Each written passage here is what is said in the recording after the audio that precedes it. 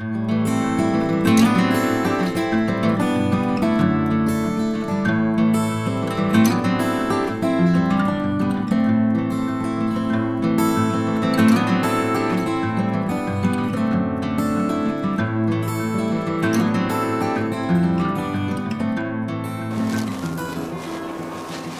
hallo Leute, 16 äh, Uhr, 16 Uhr ist es und ähm, wir senden wieder live aus Speiches. Heute wollen wir wieder äh, uns der Politik widmen mal wieder und äh, freuen uns, dass hier einige Leute gekommen sind, die Fragen stellen möchten. Ähm, ich stelle euch erstmal unseren Gast vor, Dr. Alexander King, Mitglied des Abgeordnetenhauses und Unterstützung des Bündnisses Sarah Wagenknecht. Da haben wir heute einige Fragen, weil es soll ja eine neue Partei geben, aber das werden wir alles im Laufe der Sendung besprechen. besprechen. Hallo Alexander. Ja, hallo äh, Juliane, vielen Dank für die Einladung. Gern geschehen. Und wir haben wie üblich äh, an der Technik Klaus von ähm, Rockradio und äh, an der Kamera Klaus von Klickemar Film Berlin und ihr könnt den Film ab Dienstag wieder schauen.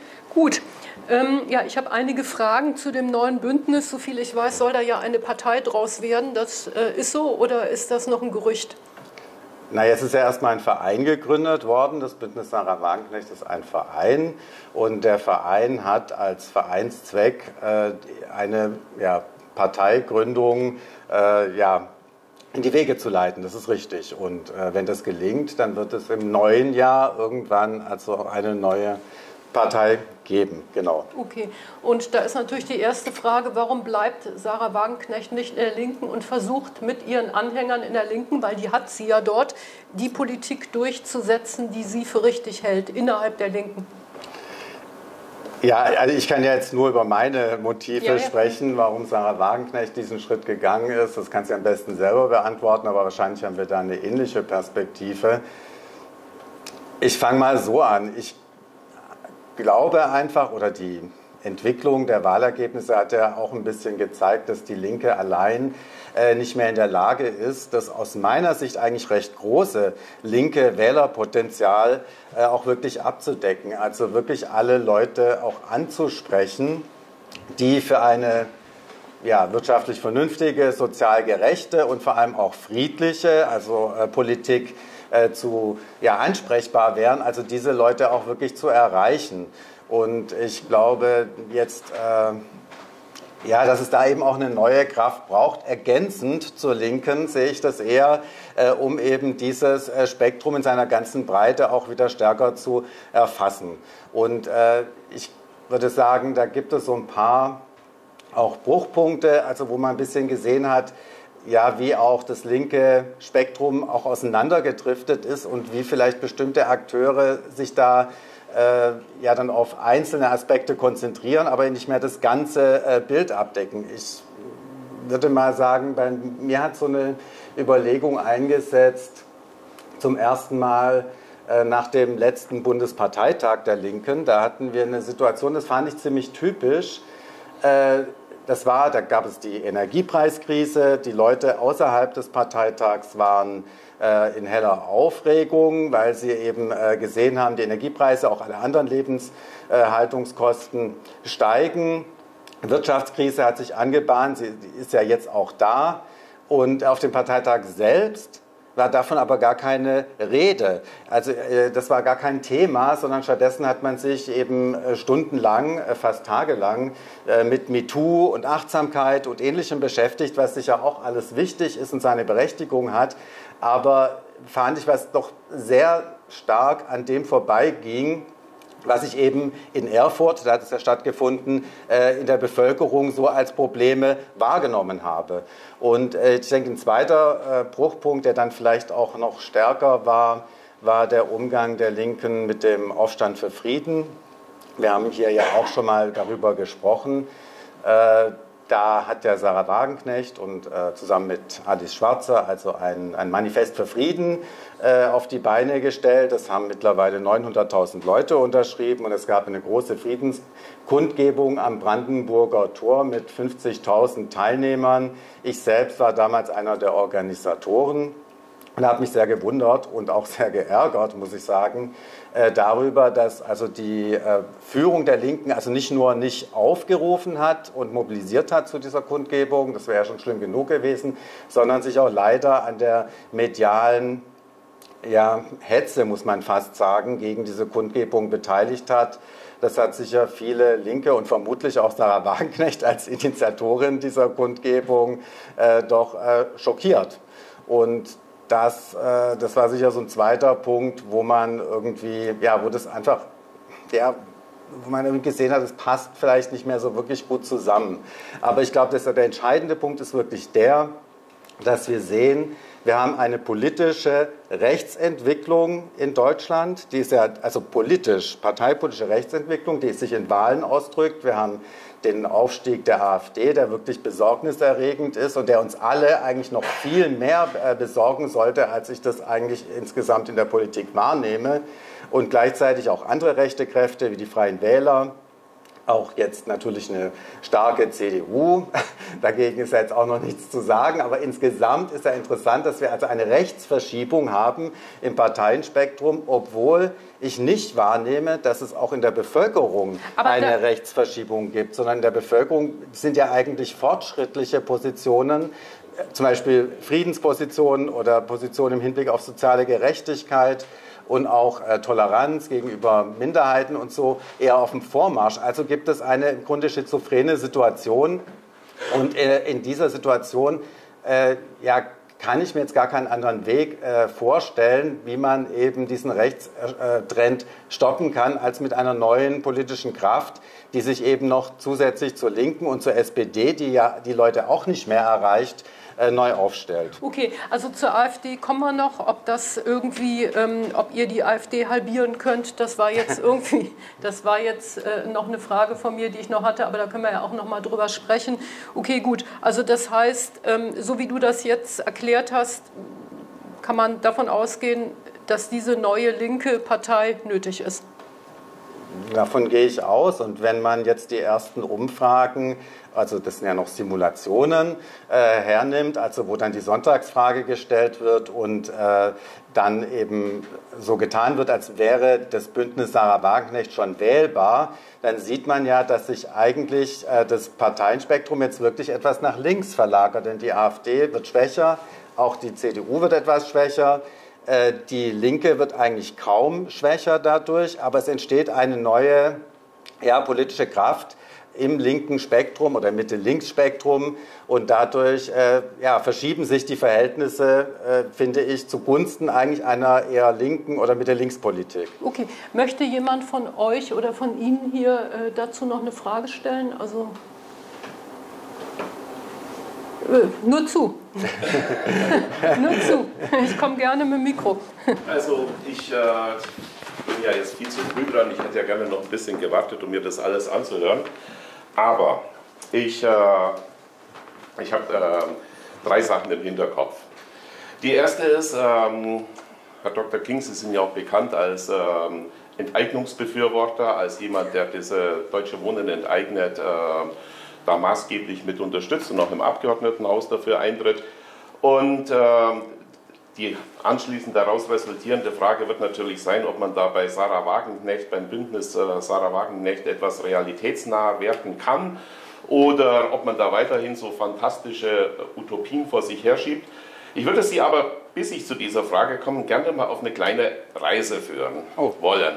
Und zwar ganz kurz, Sie sind ja studierter Geologe und äh, im Abgeordnetenhaus äh, bekannt als Stadtplaner, als Raumexperte.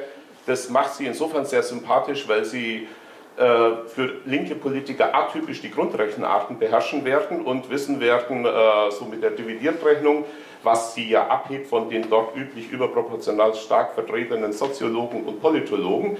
Und die Reise geht ganz einfach.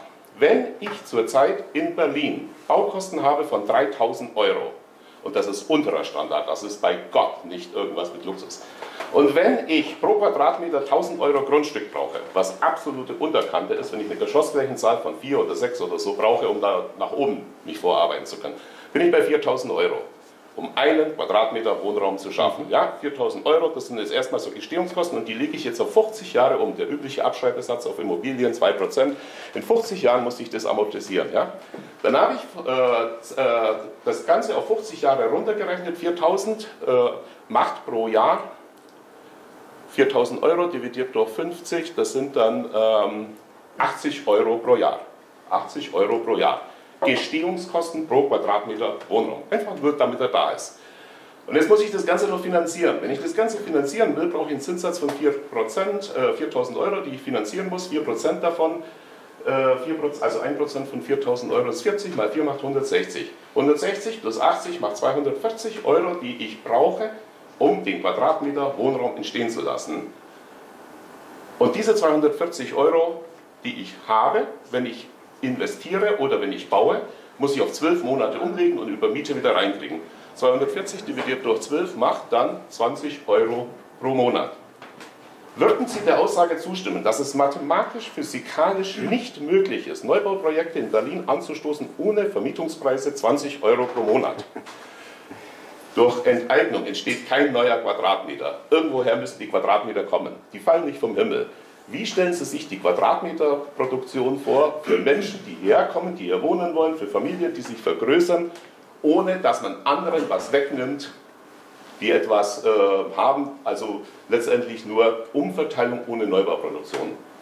Und ich würde mal gerne hören, geht es unter Sarah Wagenknecht so weiter oder ist da ein Realitätsbezug zu erwarten?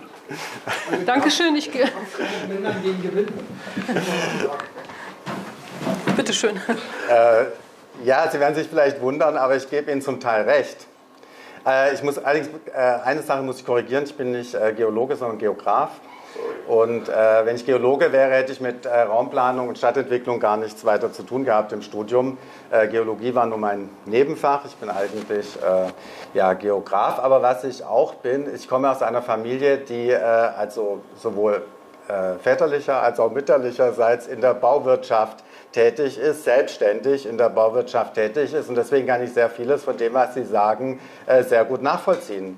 Und natürlich, also um jetzt auf das Deutsche Wohnen und Co. enteignen äh, kurz einzugehen, äh, das ist jetzt keine wahnsinnig radikale Position, die wir da eingenommen haben also meine frühere Partei Die Linke, sondern das ist ja eine Position, die eine große Mehrheit der Berlinerinnen und Berliner geteilt hat. Das wollen wir mal nicht vergessen. Das war ja ein Volksentscheid und der ist sehr eindeutig ausgegangen zugunsten äh, dieser äh, Frage Enteignung eben der großen Wohnungsbestände über 30.000 Wohnungen. Und äh, dahinter steht natürlich die Überlegung, dass äh, gerade bei Vonovia, Deutsche Wohnen und so natürlich ein großer Teil der Mieten ja auch äh, quasi in die Ausschüttungen der Anteilseigner geht. Und das hat man, dieses Problem zumindest hat man nicht, äh, wenn man kommunalen äh, Wohnungsbau hat. Dann ist garantiert, dass Gewinne eben nicht jetzt ausgeschüttet werden, sondern auch reinvestiert werden. Aber natürlich haben Sie recht. In Deutschland Wohnungen zu bauen, ist im Moment so gut wie unmöglich. Das weiß ich selber, äh, aus, wie gesagt, aus familiärer Erfahrung, leidvoller familiärer Erfahrung. Wir haben 700.000 Wohnungen, glaube ich, in Deutschland, die fehlen, aber es können keine Wohnungen mehr gebaut werden. Also die äh, Bauunternehmer, Architekten, die ich kenne, die sagen, sie haben gar keine Aufträge mehr, weil niemand mehr bezahlen kann die Energiekosten, die beim Bau entstehen, die Baustoffkosten, die entstehen. Wir haben die Energiesanktionen, die da total reingehauen haben. Wir haben Sanktionen gegen Holz zum Beispiel. Also alle Baustoffe, alle, alles, was man braucht, um zu bauen. Und da rede ich noch gar nicht über den Fachkräftemangel, der kommt auch noch dazu. Äh, da gibt es sehr viele Stellschrauben und ich glaube jetzt die Enteignung von Deutsche Wohnen und Vonovia und anderen in Berlin, da gebe ich Ihnen recht, das alleine wird jetzt nicht ausreichen, um äh, ausreichend Wohnungen äh, zu bauen, überhaupt nicht. Sondern dazu müssen vor allem die äh, also in allererster Linie die Energiepreise wieder runter und damit äh, ja dann auch alle Folgekosten. Und deswegen ist es eine wirtschaftspolitische Frage und nicht unbedingt eine Frage von Enteignung. Insofern würde ich Ihnen teilweise recht geben, aber ich bin natürlich dafür, äh, dass der Wille der Berlinerinnen und Berliner umgesetzt wird. Darf ich mal ganz kurz da noch mal äh, was hinterherbringen? Ähm, was, was du gerade gesagt hast, wird aber so nicht an die Bevölkerung kommuniziert. Also ich höre, wenn Politikerinnen und Politiker befragt werden, dann sagen die, wir müssen weiterbauen, wir werden weiterbauen. Also Sie wissen es ja wahrscheinlich, aber Sie, Sie geben es nicht, ich spreche jetzt nicht von der Linkspartei, Sie geben es nicht an die Bevölkerung weiter. Die wird irgendwie hinter die Fichte geführt, oder? Also das kann ich jetzt nicht beurteilen. Also ich würde jetzt äh, da niemandem falsche Versprechungen machen wollen. Ich ärgere mich ehrlich gesagt auch, wenn Politiker, auch wenn es linke Politiker sind, äh, immer äh, große Programme darstellen. Zwei Millionen Wohnungen, am besten zwei Millionen äh, Sozialwohnungen innerhalb von so und so vielen Jahren und so. Im Moment sehe ich das auch nicht, dass das unter den gegebenen Bedingungen möglich ist, sage ich ganz ehrlich. Es wird versprochen, ja. Es, ja, es wird viel versprochen, wenn der Tag lang ist. Das muss man auch sagen. Okay, also das heißt, ähm, weil wir haben ja im Moment, also es, es, ist ja nicht so, dass die Leute aus Spaß gern umziehen würden und es dann eben mal eine Zeit lang nicht können. Wir haben ja im Moment nicht nur Geflüchtete, die keine Wohnung haben, sondern auch Leute, die hier äh, seit ich weiß nicht wann leben und auch keine Wohnung mehr haben. Also das heißt, das Problem, das müssen wir irgendwie, da müssen wir jetzt noch mit fertig werden. Habe ich, hab ich dich richtig verstanden? Naja, das ist ein objektives und sehr großes Problem, weil natürlich, das hast du ja jetzt auch angesprochen, äh, durch die Zuwanderung äh, wird ja der Markt noch enger. Und äh, das sehen wir ja jetzt schon, dass eben gerade die Konkurrenz um bezahlbaren Wohnraum, um Sozialwohnungen jetzt wirklich so groß ist, dass die Leute ja teilweise dann auch sagen, äh, wir können jetzt eigentlich gar nicht mehr Zuwanderung aufnehmen, weil, äh, weil es einfach weil wir auf, auf der anderen Seite ja auch den Anspruch haben, äh, Leute, die nach Deutschland kommen, möglichst schnell eben aus großen Unterkünften rauszuholen und in Wohnungen äh, einziehen zu lassen. Und dafür muss es die Wohnungen aber geben und die muss es natürlich auch geben für die Leute, die schon hier sind. Das ist doch klar. Und dadurch kommt ja dieses ganze Dilemma, was jetzt ja auch aus den Kommunen äh, stark äh, kommuniziert wird, zu Recht. Es ist ähm in allen Zeiten der historischen Entwicklung und in der, ähm, auf der ganzen Erde, so dass die Wohnungsfrage, die Produktion von Quadratmetern über privates Kapital ähm, Stellen Sie sich doch mal hier vor die Kamera. So, genau. Das heißt, äh, ohne privates Kapital gibt es nirgendwo ähm, Wohnungen, die ähm, der Gedanke, durch Vermietung von Objekten Einkünfte und Gewinne zu erschaffen, ist ein ähm, Initiator und eine tragende Säule für die Produktion von Quadratmetern. Das heißt, wenn ich jetzt in die Politik reingehe und sage, wenn ihr viele Wohnungen habt, nehmen wir die euch weg und dann habt ihr halt nichts mehr, dann verschrecke ich den letzten Investor, der dann logischerweise, konsequenterweise sagen wird, ich bin noch nicht so bescheuert und gehe nach Berlin und produziere eine Wohnung. Das mache ich halt in äh, Frankfurt oder in Brandenburg oder in München und äh, das Kapital fließt dann weg aus Berlin in die andere Richtungen. Also von daher hat man in Berlin es geschafft, potenzielle Investoren so abzuschrecken, dass sie sagen, nö, hier nicht, woanders sind die Bedingungen besser, die rechtlichen Rahmenbedingungen oder, die, oder auch äh, die Gewinnmöglichkeiten. Völlig nachvollziehbar. Aber wir hatten ja, oder so habe ich das gerade verstanden, äh, dass selbst mit privatem Kapital im Moment nicht mehr viel zu machen ist. Oder habe ich das falsch verstanden? Na, wir brauchen doch eigentlich drei Dinge, Herr Ott. Wir brauchen natürlich privates Kapital, um Wohnraum zu schaffen. Das würde ich nie bestreiten. Wir brauchen aber auch einen starken öffentlichen Wohnungssektor, weil nicht jeder sich die Mieten leisten kann, die auf dem privaten Wohnungsmarkt äh, eben äh, abgerufen werden. Das brauchen wir auch. Und weil wir auch einen Wohnungssektor brauchen, der politisch gesteuert ist und der nicht äh, jetzt rein renditeorientiert gesteuert ist. Wir brauchen beides. Natürlich brauchen wir auch private Investoren, das ist doch völlig klar. Aber wir brauchen auch einen öffentlichen Wohnungssektor und je stärker der ist, desto mehr Möglichkeiten hat man auch, den Wohnungsmarkt äh, mit zu beeinflussen und auch die Entwicklung von Mieten mit zu beeinflussen. Was wir aber vor allem brauchen, das habe ich vorhin äh, schon gesagt, ich sage es nochmal, sind günstige Bedingungen, sowohl für die öffentlichen Wohnungsbaugesellschaften als auch für die privaten Investoren. Das ist doch klar. Also auch die äh, städtischen Wohnungsbaugesellschaften stöhnen doch unter den hohen Preisen und wissen nicht, wie sie ihren öffentlichen Auftrag eigentlich noch erfüllen sollen. Das kommt doch noch dazu. Also alles, alle drei Punkte sind wichtig. Ein starker öffentlicher Sektor, eine äh, privatwirtschaftliche Wohnungserstellung, äh, die auch funktioniert und eben auch Rahmenbedingungen, die für beide äh, günstig sind. Okay. Gut, ähm, wollen wir das Thema, ich glaube, da sind wir uns einig, äh, Herr Ott. Okay, gut. Also fast. Wir, fast, okay, gut. Also wir haben ja hier ähm, Parteiunterschiede und da ist klar, dass man sich vielleicht nicht so ganz 100 pro einig ist, aber so ein bisschen ähm, schon. Äh, ich komme mal auf ein anderes Thema. Wir ähm, wollen ja wieder zurück zu der äh, angedachten neuen Partei, Bündnis Sarah Wagenknecht. Ich weiß jetzt nicht, wie die Partei heißen wird, aber das werden wir dann sehen. Ähm, was mich besonders interessiert, wir hatten ja nun in den letzten Jahren so sehr stark diese sogenannte Cancel Culture.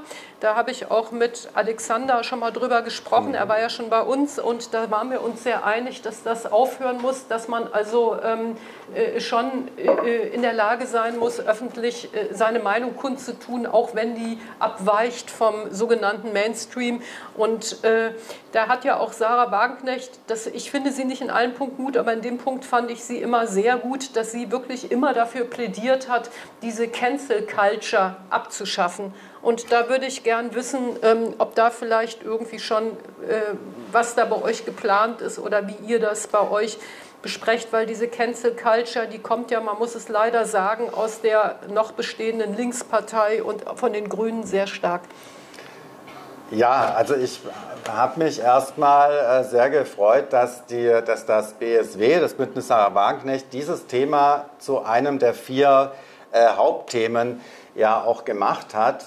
Äh, weil mich das auch beschäftigt. Ich bin ja nicht nur, äh, oder ich bin jetzt gar nicht mehr Stadtentwicklungspolitiker, das war ich bis zur Wiederholungswahl. Jetzt bin ich aber nach wie vor äh, Medienpolitiker. Ich bin auch im Medienausschuss, das war ich schon vor der Wiederholungswahl. Und deswegen interessiert mich das Thema ja, öffentliches Meinungsspektrum und äh, wie entwickelt sich das, wie frei sind die Diskussionen, die wir in Deutschland führen können. Äh, das interessiert mich sehr und ich stelle fest, wenn ich mit Leuten spreche, die sich für BSW interessieren, dass es fast immer ein BSW ist Bündnis, Bündnis Wagen nicht interessieren, dass es fast immer auch als Thema aufgerufen wird. Okay. Dass die Leute sich eigentlich mittlerweile so ein bisschen, also zum einen bevormundet fühlen, äh, dann aber auch eingeschränkt fühlen in der äh, ja in dem äh, Korridor, in dem Meinungen äh, überhaupt noch geäußert werden dürfen und dass äh, Leute eigentlich vermissen eine freie, eine offene Debatte. Die brauchen wir aber, die brauchen wir in jeder Hinsicht. Also eine Gesellschaft kann sich weder wirtschaftlich noch gesellschaftlich noch kulturell entwickeln, wenn, äh, die, äh, wenn es keine freie Debatte gibt. Deshalb ist Freiheit ein ganz großer Punkt für uns. Und ich muss sagen, also es wird ja oft in Abrede gestellt, dass es in Deutschland eine Cancel Culture gibt.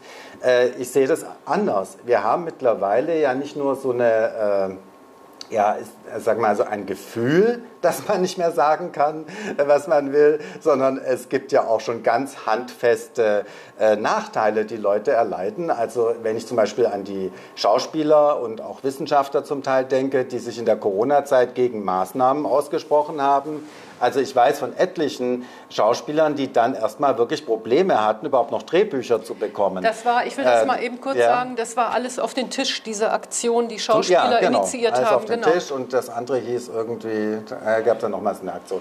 Auf jeden Fall, ich will damit gar nicht sagen, wie ich jetzt zu den einzelnen Corona-Maßnahmen stand. Ich war selber jetzt nicht so kritisch, also erstmal nicht so kritisch gegenüber den Maßnahmen, aber ich habe sehr stark kritisiert, wie mit Kritikern umgegangen wurde in Deutschland. Und das ist ja nach wie vor so. Wir haben ja gar keine Aufarbeitung bis jetzt äh, von dieser ganzen, also weder von den Maßnahmen noch auch von dem äh, gesellschaftlichen Klima, was da geschaffen wurde. Und das finde ich sehr schlimm, muss ich sagen. Und es stimmt, auch äh, Teile der Linken und der Grünen haben sich daran leider sehr stark beteiligt. Also Maßnahmen, Kritik äh, im Grunde zu diffamieren.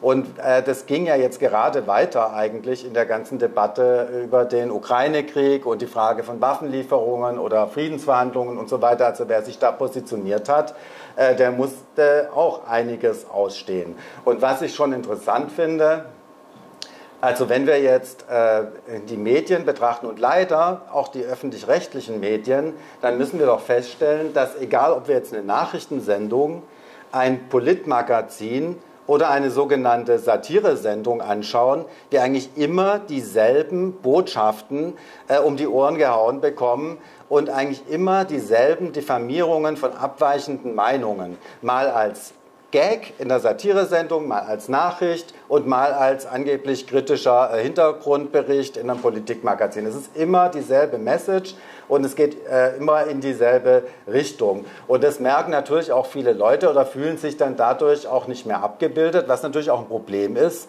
äh, gerade beim öffentlich-rechtlichen Rundfunk, denn die Leute bezahlen ja alle äh, auch eine Gebühr. Äh, und zwar gar keine kleine, 18,36 Euro pro Monat und haben natürlich den Anspruch, dass, und das ist übrigens nicht nur der Anspruch der, der Beitragszahler, sondern das ist ein gesetzlich verankerter Anspruch an den öffentlich-rechtlichen Rundfunk, dass er die Meinungsvielfalt in Deutschland abbilden und fördern soll.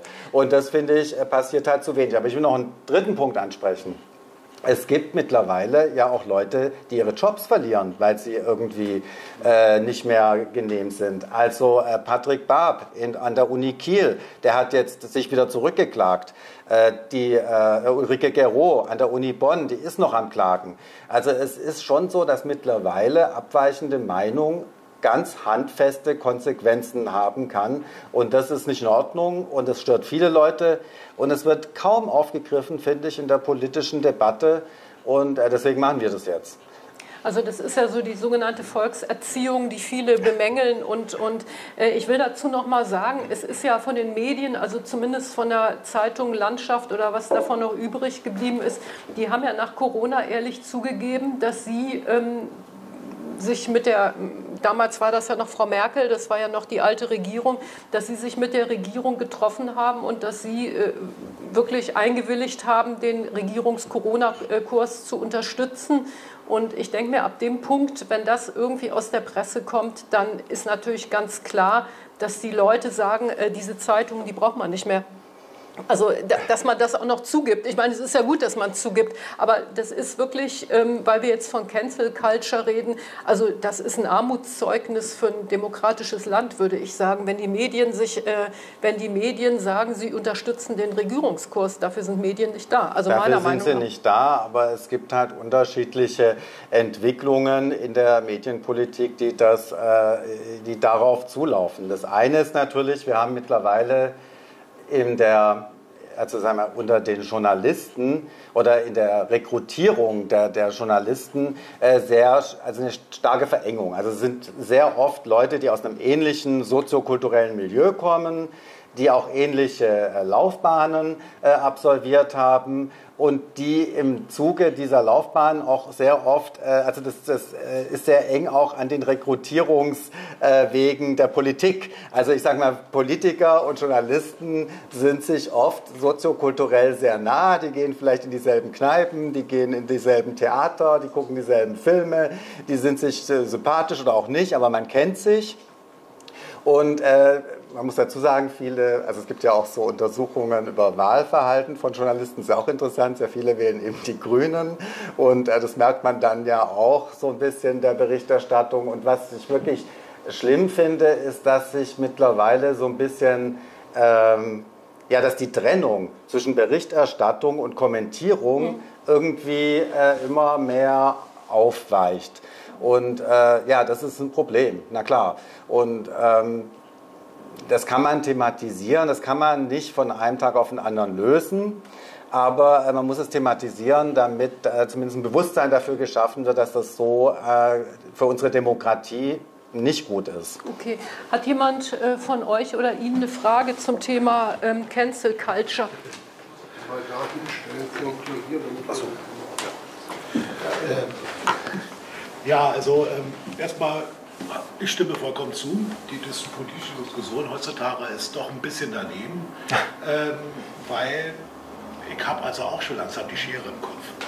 Also ich bin ja nur relativ älteres Semester, um es mal vorsichtig auszudrücken, und wir waren eigentlich in der Diskussion untereinander, egal welches Thema es war, waren wir eigentlich schon weiter. Also wenn ich so an meine Jugend denke, ich habe zehn Jahre gebraucht, bis ich festgestellt habe, dass wirklich Spiegel schwul ist. Ne? Also nur so als Beispiel. Mhm das hat mich früher gar nicht interessiert. Mhm. Ich hatte mit dem Motto gelegt, ja, soll auf seiner Fassung glücklich werden. Und sollte ich mal wirklich mal auf einen Gegenpart treffen in einer Diskussion, die ich früher hatte, wo wir nicht auf einen Nenner gekommen sind, dann hat man sich zumindest so weit getrennt, dass man sagt, man könnte anschließend noch Milch trinken. Ja, es ist so. Es ist heute so, das ist wie mit den Smileys verschicken bei WhatsApp oder sowas. Ja, schickst du mir falsche Smiley, bist du nicht mehr mein Freund, kündigt dir die Freundschaft oder rede ich nicht mehr mit mir und bist du Baba. Und äh, auf die Diskussion mit der, mit der Presse, wir haben ja das beste Beispiel, wir hatten hier eine sehr, sehr, sehr bekannte Regionalsendung in Berlin, die Berliner Abendschau, das war früher Pflichtprogramm für den gehobenen äh, Fernsehzuschauer. Und ich muss ganz ehrlich sagen, ich boykottiere diese Sendung, seitdem oh. da gegendert wird. Einfach okay. nur die Tatsache, weil mich das stört. Weil mich das stört. Nun kann es sein, okay, ist vielleicht ein Erziehungsproblem, ich habe es noch gelernt, Mann und Frau und dann gibt es auch noch was anderes, aber ist ja nicht so schlimm, das kann ja passieren. Allerdings, diese, wie du schon sagst, diese Bevormundung im Allgemeinen, die stört mich doch sehr. Und da bin ich, da, da stimme ich dir vollkommen zu, die politische Diskussion ist verroht in dem Sinne, dass man sich nicht mehr klar und deutlich seine Meinung sagen kann, ohne Angst zu haben, dass man gleich von unten eine Keule erschlagen wird. Ob jetzt, sagen wir mal, als Mann, als weißer alter Mann wie ich bin, ich werde gerne mit der Sexismuskeule gehauen oder eben, äh, weiß ich nicht, mit der Nazi-Keule, wenn man irgendwo mal irgendwann mal was sagt, was eventuell als rechtspopulistisch ausgelegt werden kann. Und das ist auch ein Problem, sag mal, warum die AfD so stark geworden mhm. ist. Nicht diese Ausgrenzerei, die finde ich ja vollkommen in Ordnung. man redet nicht mit Schmuddelkindern, aber du hast es angesprochen, die Corona-Maßnahmen, da gab es ein paar Leute, die hatten da Bauchschmerzen mit. Und was wurde mit denen gemacht in der Presse? Die wurden in eine rechtsradikale Ecke gestellt. Ja. Das fing an mit, das sind ja alle Reichsbürger und das sind ja alle äh, Leute, die AfD-nah sind. Und diese Leute hat man buchstäblich in die rechte Ecke getrieben.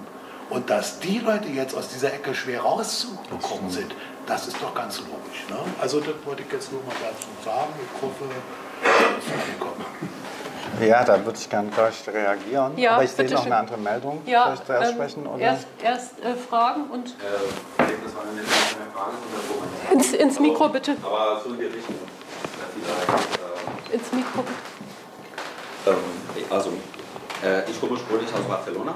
Also nee, ist auch, äh, einfach sprechen. Ähm, auch ein bisschen älter. Und ich habe erlebt die letzten Jahre von einer Diktatur. Also ich glaube hier, viele Leute in Berlin haben ja auch erlebt, bei uns damals heißt es Zensur. Das bedeutet, die durften bestimmte Themen nicht ansprechen oder mindestens nicht so in verschiedene Richtungen. Danach waren einige Jahre, wo ich hatte das Gefühl, ich kann langsam viel mehr sprechen, viel offener sprechen über andere Themen. Ich habe langsam jetzt in den letzten Jahren das Gefühl, nicht nur wegen der Corona, dass auch mit politischen äh, Situationen oder ähm, geopolitischen Situationen wie der Ukraine-Krieg, dass langsam wird meine Meinung immer mehr, ist vielleicht nicht unter Druck, aber mehr immer unter die Lupe äh, genommen, äh, weil was für mich früher als Zensur kannte, heute heißt vielleicht Political Correctness. Ja. Das bedeutet, ich kann jetzt nicht mehr frei, auch nicht beruflich, ich versuche keine zu beeinflussen. Ich habe eine Meinung, genauso wie jeder Mensch hat eine Meinung und jeder hat das Recht dazu sagen, egal was für eine Meinung das ist. Und äh, bestimmte Themen, die sind heute ist tabu. Ich kann nicht mal eine kleine Kritik, äh, zum Beispiel äh, kleine Richtung Israel, sofort antisemitisch. Äh, nee, also eine Sache, die hat mit, meiner Meinung nach miteinander überhaupt nichts zu tun. Oder das Thema so Ukraine. Ähm, ich habe Diskussionen mit vielen Leuten, die, also mit Ukrainer, die selbst nicht lange zum Beispiel mit dem Thema sich beschäftigt haben. Bei mir ist nur einfach nur Zufall, dass durch meine Familienzeit, von meiner Familie ist Ukrainerin und seit 26 Jahren Beschäftigung in das Land. Ich weiß nicht, was ich mit den Medien sehe, ist dieser wunderbare äh, Paradies, die in jeder, in jeder Platz hat. Ähm, also gute und schlechte Sachen. Meine, jetzt ist eine neue Partei da, wo ich wirklich, ich muss sagen, dass äh, am Anfang, ich hatte mit der Name, ähm, war nicht mehr so, ich weiß nicht warum, es gab keinen Grund, nicht so sympathisch und heute ist vielleicht einer meiner äh, Lieblingspolitikerinnen, äh, die Frau Sarah Wagenecht. Äh, komischerweise, weil ähm, ich glaube, dass es, die haben es so geschafft durch die Medien oder dass die Bevölkerung selbst gegenseitig sich zensiert dass er einfach ist nicht mehr, dass äh, jemand mhm. von der Polizei, von der äh, ja. Polizei National kommt und sagt mir, du darfst das nicht sagen, sondern mir macht Sorgen, wenn plötzlich mein Nachbar sagt, ey, darf man, darf man nicht sagen. Wie äh, oder was für eine Position äh, habe ich jetzt in der Richtung ge gehört, ähm, aber wie ähm, haben Sie, welche Vorstellung hat diese Partei, wie kann man auch an, dass der Bevölkerung selbst das unterkommt? Weil ich glaube, der kommt nicht nur von den Medien, die Medien auf jeden Fall beeinflussen und die ticken in eine Richtung oder in die andere. Aber wie kann man eine Partei zum Beispiel machen, dass die Leute sich selbst nicht gegenseitig äh, zensiert oder unter Druck, einfach nur weil andere Meinung haben? Gut, äh, Alexander, da vielleicht nochmal. Ja, äh, würde ich gerne ein paar Punkte aufgreifen. Also erstmal will ich sagen, äh, Sie mit der roten Krawatte, Sie haben eine Sache gesagt, die war sehr wichtig. Nämlich, dass wenn man äh, wirklich jede äh, abweichende Meinung äh, und dann auch gleich die ganze Person immer in die rechte Ecke stellt, dass das im Grunde den Rechtsruck ja noch befördert, weil die Leute, wenn sie dort erstmal sind, eben so wie Sie es gesagt haben, aus dieser Ecke gar nicht mehr so schnell wieder rauskommen und irgendwann dann vielleicht auch sagen, ja gut, okay, äh, wenn meine Meinung, von der ich eigentlich bisher ausgegangen bin, dass sie eine ganz normale, äh, durchschnittliche äh, Meinung ist, wenn das jetzt plötzlich eine rechte Meinung ist, dann äh, bin ich wohl ein Rechter, würde dann vielleicht jemand sagen. Und äh, wenn das dann von niemandem mehr aufgegriffen wird, als ausgerechnet von der AfD, dann äh, ist dann vielleicht der nächste Schritt, dass die Leute dann wirklich die AfD wählen. Und das ist eine fatale Entwicklung. Und deswegen bin ich auch der Meinung, dass diese Teile äh, der, des Mitte-Links-Spektrums, äh, die das so befördern, diese Diskussionsunkultur, dass die auch einen großen Anteil daran haben, dass wir heute mit diesem AfD-Problem zu tun haben. Und deswegen ist das eine sehr wichtige Frage. Äh, das Zweite, was ich sagen wollte, Sie haben jetzt gesagt, Sie gucken keine Abendschau mehr seit dort gegendert wird. Also ich gucke natürlich nach wie vor die Abendschau, äh, finde ich wichtig als äh, jetzt äh, Berliner und auch jemand, der in Berlin Politik macht, sehr klar. Äh, ich muss sagen, es gendern ja auch nicht alle, nur manche. Ich bin aber dagegen. Ich sage das ganz klar, das ist meine Position. Das sollte eigentlich im öffentlich-rechtlichen Rundfunk äh, nicht sein. Und ich sage äh, jetzt hier mal was, was ich bis jetzt noch gar nicht öffentlich gesagt habe. Äh, ich habe auch äh, der Programmdirektorin einen Brief geschrieben, äh, dass ich, also indem ich dagegen protestiert habe, das einfach, weil sie hat in einem Interview gesagt, kann doch jeder machen, wie er will. Und ich habe ihr geschrieben, nee, der Meinung bin ich nicht. Weil wir haben eine deutsche Sprache, die hat ein Regelwerk und vom öffentlich-rechtlichen Rundfunk erwarte ich eigentlich, dass sich alle an die deutsche Sprache halten, so wie sie nun mal ist. Und äh, das, äh, bis jetzt ist äh, die Gendersprache kein Teil der deutschen Sprache für mich. Und äh, ja, leider, äh, gut, äh, ist sie jetzt da auf meine Argumente nicht so eingegangen, aber äh, zumindest habe ich es versucht. Ähm, ich finde, das, das muss man auch ein bisschen ernst nehmen, weil das ist ja, äh, ich glaube, dass die Leute an sich sind ja nicht gegen das Gendern, weil sie was gegen Gleichstellung haben oder weil sie was, also bei Gendersprache geht es ja auch um die äh, Zwischengeschlechter oder so. Äh, ich glaube, das ist gar nicht das Problem von den Leuten, sondern die Leute haben das Gefühl, sie sollen im Fernsehen erzogen werden. Und das ist nicht die Aufgabe vom öffentlich-rechtlichen Rundfunk. Der öffentlich-rechtliche Rundfunk ist keine Erziehungsanstalt, sondern äh, der soll uns informieren, der soll uns bilden, der soll, wie, wie ich vorhin gesagt habe, äh, das Meinungsspektrum in Deutschland äh, ja, abbilden und auch Meinungsvielfalt fördern. Das sind gesetzlich verankerte Aufgaben, die der öffentlich-rechtliche Rundfunk hat und keine Erziehung. Und äh, Gendersprache, äh, klar, zum Teil nimmt es äh, skurrile äh, Formen an. Ich hatte neulich ein Buch in der Hand, da wurde, also es war keine Satire, sondern ernsthaft, äh, ein Buch, in dem äh, man also die richtige Gendersprache beigebracht bekommen hat. Also eine Art Lexikon, wenn man so will. Ich hatte wirklich das Gefühl, äh, das geht um eine Fremdsprache. Viele Sachen äh, kannte ich auch noch gar nicht. Also Pronomen wie ens oder so hatte ich jetzt noch nie gehört. Oder dass man nicht mehr Vater und Mutter sagt, sondern das älter. Hast du das schon mal gehört? Das Nein. Ich wusste nicht, dass Eltern ein Singular hat, aber offensichtlich äh, gibt es auch das. Also das ist natürlich, äh, also kann ich nachvollziehen, dass viele Leute finden, das geht irgendwie auch ein bisschen zu weit.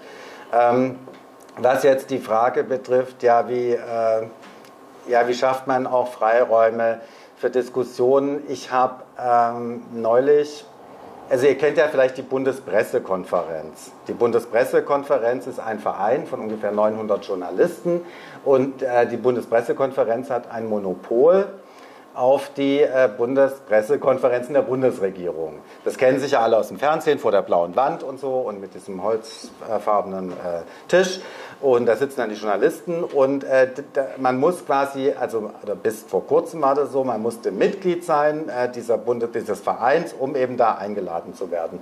Und ein äh, Journalist, den ich kenne, ein sehr kritischer Journalist, der wurde von dem Verein ausgeschlossen. Also er sollte eben nicht mehr Mitglied sein dürfen. Das war Florian Warbeck von den Nachdenkseiten und der hat dagegen prozessiert. Und ich habe ihn äh, da auch, äh, ich will nicht sagen unterstützt, aber begleitet. Ich habe mir diese äh, Prozesstermine angeschaut, weil ich das interessant fand. Und zum Glück, muss ich sagen, hat die Richterin ganz klargestellt, dass dieser Versuch, ihn aus der Presse, Bundespressekonferenz herauszuhalten äh, gegen, die, äh, also gegen die, äh, die, Gleichbehandlung und die Meinungsfreiheit verstößt. Und er hat Recht bekommen. Jetzt geht die Bundespressekonferenz dagegen in Revision. Aber trotzdem, also der Rechtsstaat funktioniert noch. Das hat mich ziemlich erleichtert. Aber allein dass dieser Versuch, kritische Medienstimmen quasi äh, aus so einer Bundespressekonferenz der Bundesregierung herauszuhalten, den fand ich ehrlich gesagt ziemlich schockierend. War der Grund denn, dass er kritische Fragen stellt oder was war der Grund, ihn da auszuschließen?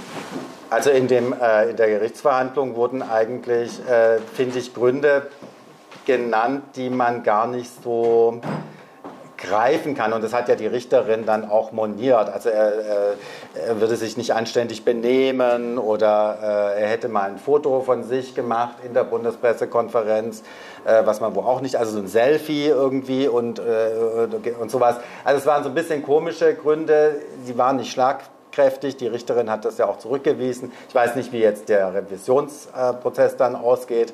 Aber äh, offensichtlich ist doch, dass äh, Herr Warbeck, der ein wirklich kritischer Journalist ist, der auch wirklich, äh, der sich auch nicht so leicht zufrieden gibt mit Antworten, die er von der Bundesregierung bekommt, äh, da irgendwie ferngehalten werden sollte. Nur mal ein Beispiel. Und äh, da muss ich sagen, der Rechtsstaat funktioniert. Der hat auch funktioniert bei Patrick Barb, der jetzt wieder an der Uni Kiel arbeitet. Ich hoffe auch für Ulrike Gero, dass sie Recht bekommt. Aber es ist natürlich trotzdem auch irgendwie nicht einzusehen, dass jeder, der jetzt irgendwie eine kritische Meinung hat und trotzdem irgendwie arbeiten möchte, äh, jetzt vor Gericht ziehen muss, um das durchzusetzen. Ja, das stimmt. Okay. Gut, wenn keiner mehr. Doch, noch eine Frage dazu. Okay. Bitte, wie ich gehört habe, dahin stellen, damit Sie im Bild sind. Ist ganz, ganz kurz. Äh, würden Sie das, was Sie eben gesagt haben, auch für Boris Reitschuster äh, gelten lassen, der ja auch aus der Bundespressekonferenz ausgeschlossen wird, der aber wahrscheinlich im AfD-nahen Spektrum verortet ist. Ja, Boris Reitschuster sich selber im AfD-nahen Spektrum äh, verortet, weiß ich nicht. Äh, ich gehe davon aus, ich verfolge ihn jetzt nicht so äh, eng, ich gehe davon aus, dass äh, er viele Positionen vertritt, die ich ganz furchtbar finde, aber trotzdem gilt natürlich die Meinungsfreiheit und die Freiheit des journalistischen Arbeitens auch für ihn. Na, selbstverständlich. So, wir kommen jetzt mal zum nächsten Thema und das ist auch unerfreulich. Das ist der Krieg. Ähm, zuerst Russland, Ukraine und jetzt auch noch Nahost. Und da würde ich gerne wissen, was habt ihr da für Positionen? Ähm, Bitte ins ja. Mikro. Äh, gut, ich fange vielleicht mal mit der Ukraine an. Ich habe vorhin ja gesagt, dass äh, Sarah Wagenknecht und äh, Alice Schwarzer diesen Aufstand für Frieden am Brandenburger Tor im Februar initiiert hatten und dass ich die Ehre hatte, äh, einer der Organisatoren dieser äh, Kundgebung zu sein. Und bei dieser Kundgebung ging es darum, dass man eben diesen Krieg in der Ukraine nicht durch immer mehr Waffen äh, beenden kann, das war unsere Meinung, sondern dass wir Friedensinitiativen, Initiativen für Friedensverhandlungen, äh, dass wir einen Waffenstillstand brauchen. Und diese Position, äh, die ist damals stark diffamiert worden, die wird aber ja durchaus von einem großen Teil der Bevölkerung immer noch geteilt. Und wir haben gesehen, natürlich ist es nicht so gekommen. Also wir haben ein Fenster aufgestoßen, sage ich mal, für eine äh, auch Diskussion zu dem Thema. Das war wichtig, dass wir das gemacht haben, aber wir haben es jetzt leider nicht geschafft, die Politik auch entsprechend zu verändern, sondern nach wie vor, ich habe gerade heute gelesen, also dass die Unterstützung, die militärische Unterstützung aus Deutschland für die Ukraine im nächsten Jahr 8 Milliarden Euro betragen soll. Das ist ja der helle Wahnsinn. Und äh, das heißt, es geht immer weiter. Und gleichzeitig sehen wir ja aber auch, dass er sich in dem Krieg an, also selbst er gar nichts tut, sondern die Frontlinie zwischen dem äh, russisch besetzten Teil der Ukraine und dem Teil, äh, den die Ukraine selber noch kontrolliert, die ist ja seit äh, seit, ich würde sagen, seit einem Jahr im Grunde unverändert. Mal gibt es ein Dorf, das irgendwie an die Russen fällt, dann gibt es ein Dorf, das befreit wird von den Ukrainern, hin und her. Aber im Wesentlichen sterben jeden Tag sehr viele junge Menschen im Grunde für nichts oder für fünf Meter vor und fünf Meter zurück. Und das ist ein einziges äh, Drama, finde ich. Und deswegen selbstverständlich wird auch das Bündnis Sarah Wagenknecht, so wie äh, Sarah das immer gemacht hat, auch weiterhin darauf äh, bestehen, dass wir äh, Friedensverhandlungen brauchen, dass man äh, dass wir einen Waffenstillstand brauchen, dass wir nicht immer mehr Waffen in diesen Krieg liefern sollen. Das ist äh, unverändert. Okay, so dann komme ich mal zu einem noch unangenehmeren Thema und das ist der Krieg in Nahost. Ähm, da mal eine kurze Beobachtung. Also was mich wundert, ähm, dass seit Tagen, wenn ich irgendwelche linken Blätter oder man muss noch nicht mal bis zu den linken Blättern gehen, dann ist die Aufforderung an Israel, man möchte das Bombardement bitte des Gazastreifens einstellen. Ähm, aber auf der anderen Seite wird mit keinem Wort die Hamas aufgefordert, die Geiseln freizulassen oder aufzuhören, Raketen rüberzuschießen nach Israel. Also das ähm, erstaunt mich sehr, dass da irgendwie ähm, ja, dass da diesbezüglich keine Forderungen kommen. Und da würde mich natürlich interessieren, wie seht ihr das? Wie wird das bei euch diskutiert? Ja, ich kann dazu sagen, wie ich das sehe. Also, äh, wie gesagt, wir sind ja jetzt noch eine Partei im Werden. Wir sind ja noch keine Partei, aber natürlich, äh, also ich würde mal folgende Punkte machen wollen. Erstens, das, äh, ja, sage ich jetzt mal als, äh, als Deutscher, äh, selbstverständlich haben wir eine historische äh, Schuld zu tragen. Der Holocaust, der in Deutschland stattgefunden hat, ein besonderes Verhältnis resultiert für mich daraus auch zu dem Staat Israel als Heimstätte für die Juden, die über Jahrtausende äh, weltweit ja auch verfolgt wurden und am schlimmsten eben in Deutschland dann auch zu Millionen umgebracht wurden. Deswegen, also ich kann nicht so viel mit dem Begriff Staatsressort anfangen, da kann ich mich so viel drunter vorstellen, aber ich finde, es gibt eine Verantwortung dafür, dass wir äh, ja auch an der Seite äh, der Juden stehen, wenn sie angegriffen werden. Das gilt für Israel, und das gilt aber auch für Deutschland. Weil äh, was ich auch nicht in Ordnung finde, vielleicht kommen wir zu dem Thema ja auch noch, ist, wenn äh, am 7. Oktober nach dem Überfall der Hamas äh, hier in Deutschland auf der Straße Süßigkeiten verteilt werden und die Leute sich äh, vor Begeisterung kaum noch einkriegen. Das ist wirklich da unterirdisch und ich, äh, da bin ich äh, voll dagegen. Da kann ich aber kurz, da möchte ich mal kurz reingrätschen. Ähm, das ist ja von der Linken eigentlich ich weiß, du bist nicht mehr in der Linken, können wir ja hier so sagen, du bist ausgetreten. Aber da muss man wirklich auch mal sich fragen, warum die Linke sowas irgendwie duldet und äh, warum die Linke da nicht reingrätscht. Das, also wir sprechen jetzt wirklich von dieser Aktion. Man kann unterschiedlicher Meinung sein zu diesem Krieg, da, da akzeptiere ich auch unterschiedliche Meinungen, aber man kann nicht unterschiedlicher Meinung sein, wenn es darum geht, ein Massenmord, ein Massaker irgendwie zu relativieren oder zu beklatschen. Und da hat die Linke überhaupt nicht reingekrätscht. Im Gegenteil in Neukölln. Und also ich weiß, du bist nicht mehr in der Linken, aber ich äh, frage dich jetzt trotzdem, warum? Ja, ich kann dir die Frage noch nicht so beantworten. Ich könnte mir vorstellen, äh, dass äh, oder ich stelle stell das auch fest, sag ich mal, im linken Milieu insgesamt, ja. dass es irgendwie die Befürchtung gibt, wenn man sich jetzt äh, quasi gegen die äh, Migranten in Neukölln, die da auf der Straße sind, stellt, dass man dann irgendwie äh, ja, als, vielleicht als migrantenfeindlich oder so gilt oder dass man die Vorstellung hat, das sind ja Unterdrückte, was ja irgendwo auch stimmt, aber kein Freibrief sein kann.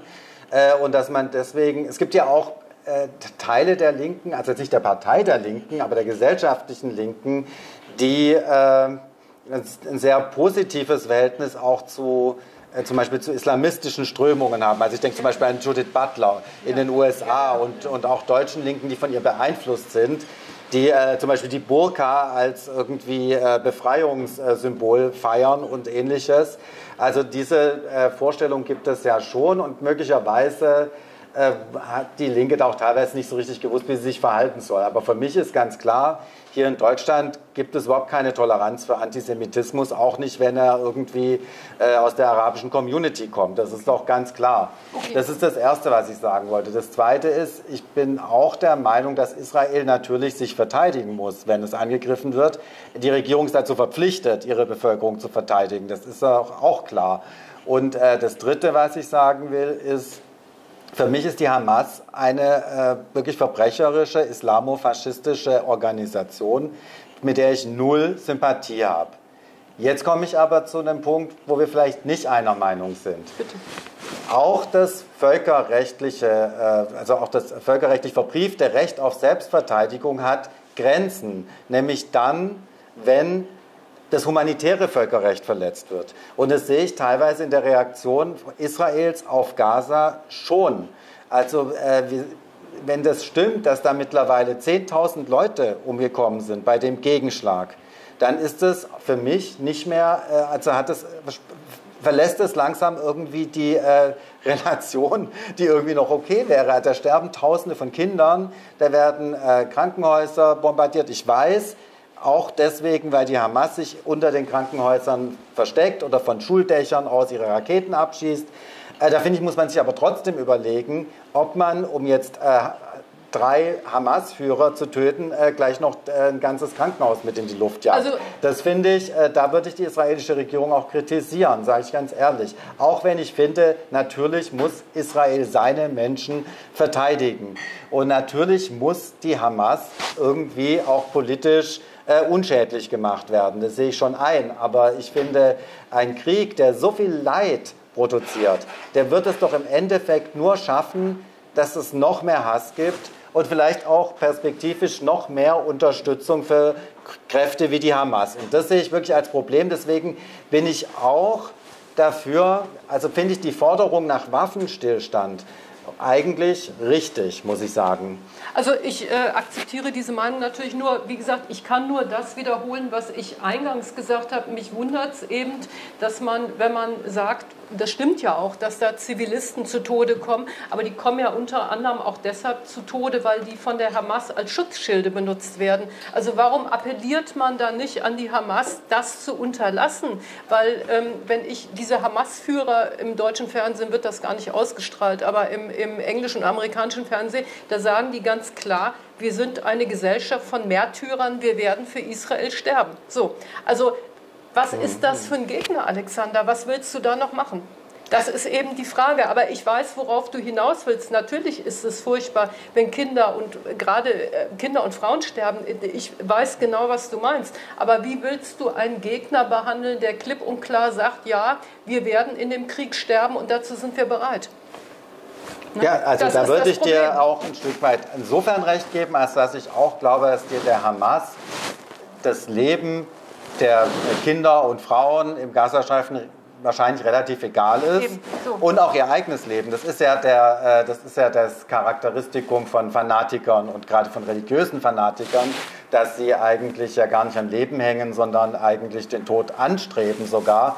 Das ist natürlich schwierig. Aber trotzdem hat, äh, finde ich, ein, ein Land wie Israel, das ja militärisch sehr potent ist, äh, schon auch die Verpflichtung, äh, die, also äh, ja, auf Zivilisten Rücksicht zu nehmen. Und was jetzt passiert, finde ich, äh, ich glaube, also ich will jetzt das gar nicht als Vorwurf in Richtung Israel formulieren, sondern eher als, äh, sagen wir mal, ja, mit der Frage, was heißt das denn für die Zukunft? Also kann denn als Ergebnis eines solchen Krieges mit so vielen Toten wird doch nicht sein, dass sich hinterher alle gut verstehen nee, und friedlich zusammenleben. Nee, und das, das, ist doch das, das Problem. Das ist ja nie das Ergebnis von Krieg. Also Na, da genau. sind, wir, sind wir ja völlig genau. einig. Da sind wir uns einig. Danke. Also erstmal eine kleine, ganz kleine Anekdote, also dem Thema Krieg. Ähm, Also wir hatten vor einige, also vor vielen Jahren, als mein Opa noch lebte, ähm, eine Austauschschülerin aus Deutschland. Also dann, als sie erfahren, wir wollten meine Opa besuchen und sie hatte erfahren, dass meine Opa spanischer Republikaner war, in Frankreich war, in zwei KZ und unsere Nachbarn, die waren auch in Mauthausen. Äh, sie war total unangenehm. Sie war ein junges Mädchen, nicht mal 20, weil sie als Deutsche wie mein Opa reagiert wurde. Dann habe ich meinen Opa einmal gefragt, schau mal, was ist eine Deutsche? Und sie macht sich einfach nur Gedanken und er hat einfach nur gelacht und mir geguckt. Und ich habe nie, nie gegen Deutsche gekämpft. Ich habe gegen Faschisten. Faschisten haben keine Frage.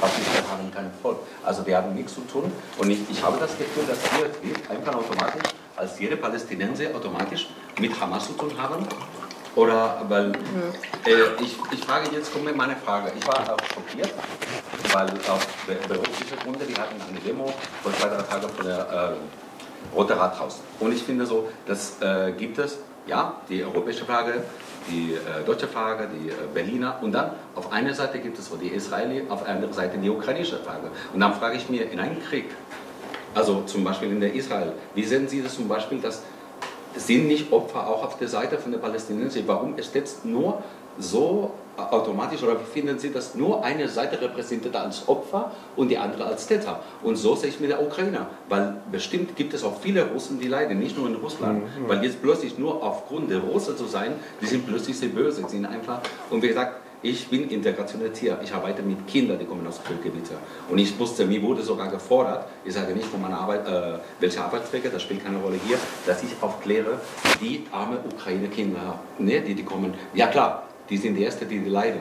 Wie soll ich das erklären? Zum Beispiel ein Kind, ich habe jetzt, oder zwei aus Afghanistan, aus Syrien, die wurden in sich gelassen, ist ein eigenes Land, die kommen jetzt und ich muss plötzlich sagen, die arme Israelis, die arme äh, Ukrainer. Und ich, ich finde sehr, sehr partinistisch, wie alles hier repräsentiert, böse, Gute mhm, und der, der, der Gute hat alle Recht, mit allen Mitteln zu verteidigen, egal mit Atombomben Hiroshima Nagasaki. Aber okay, ist ein anderes Thema.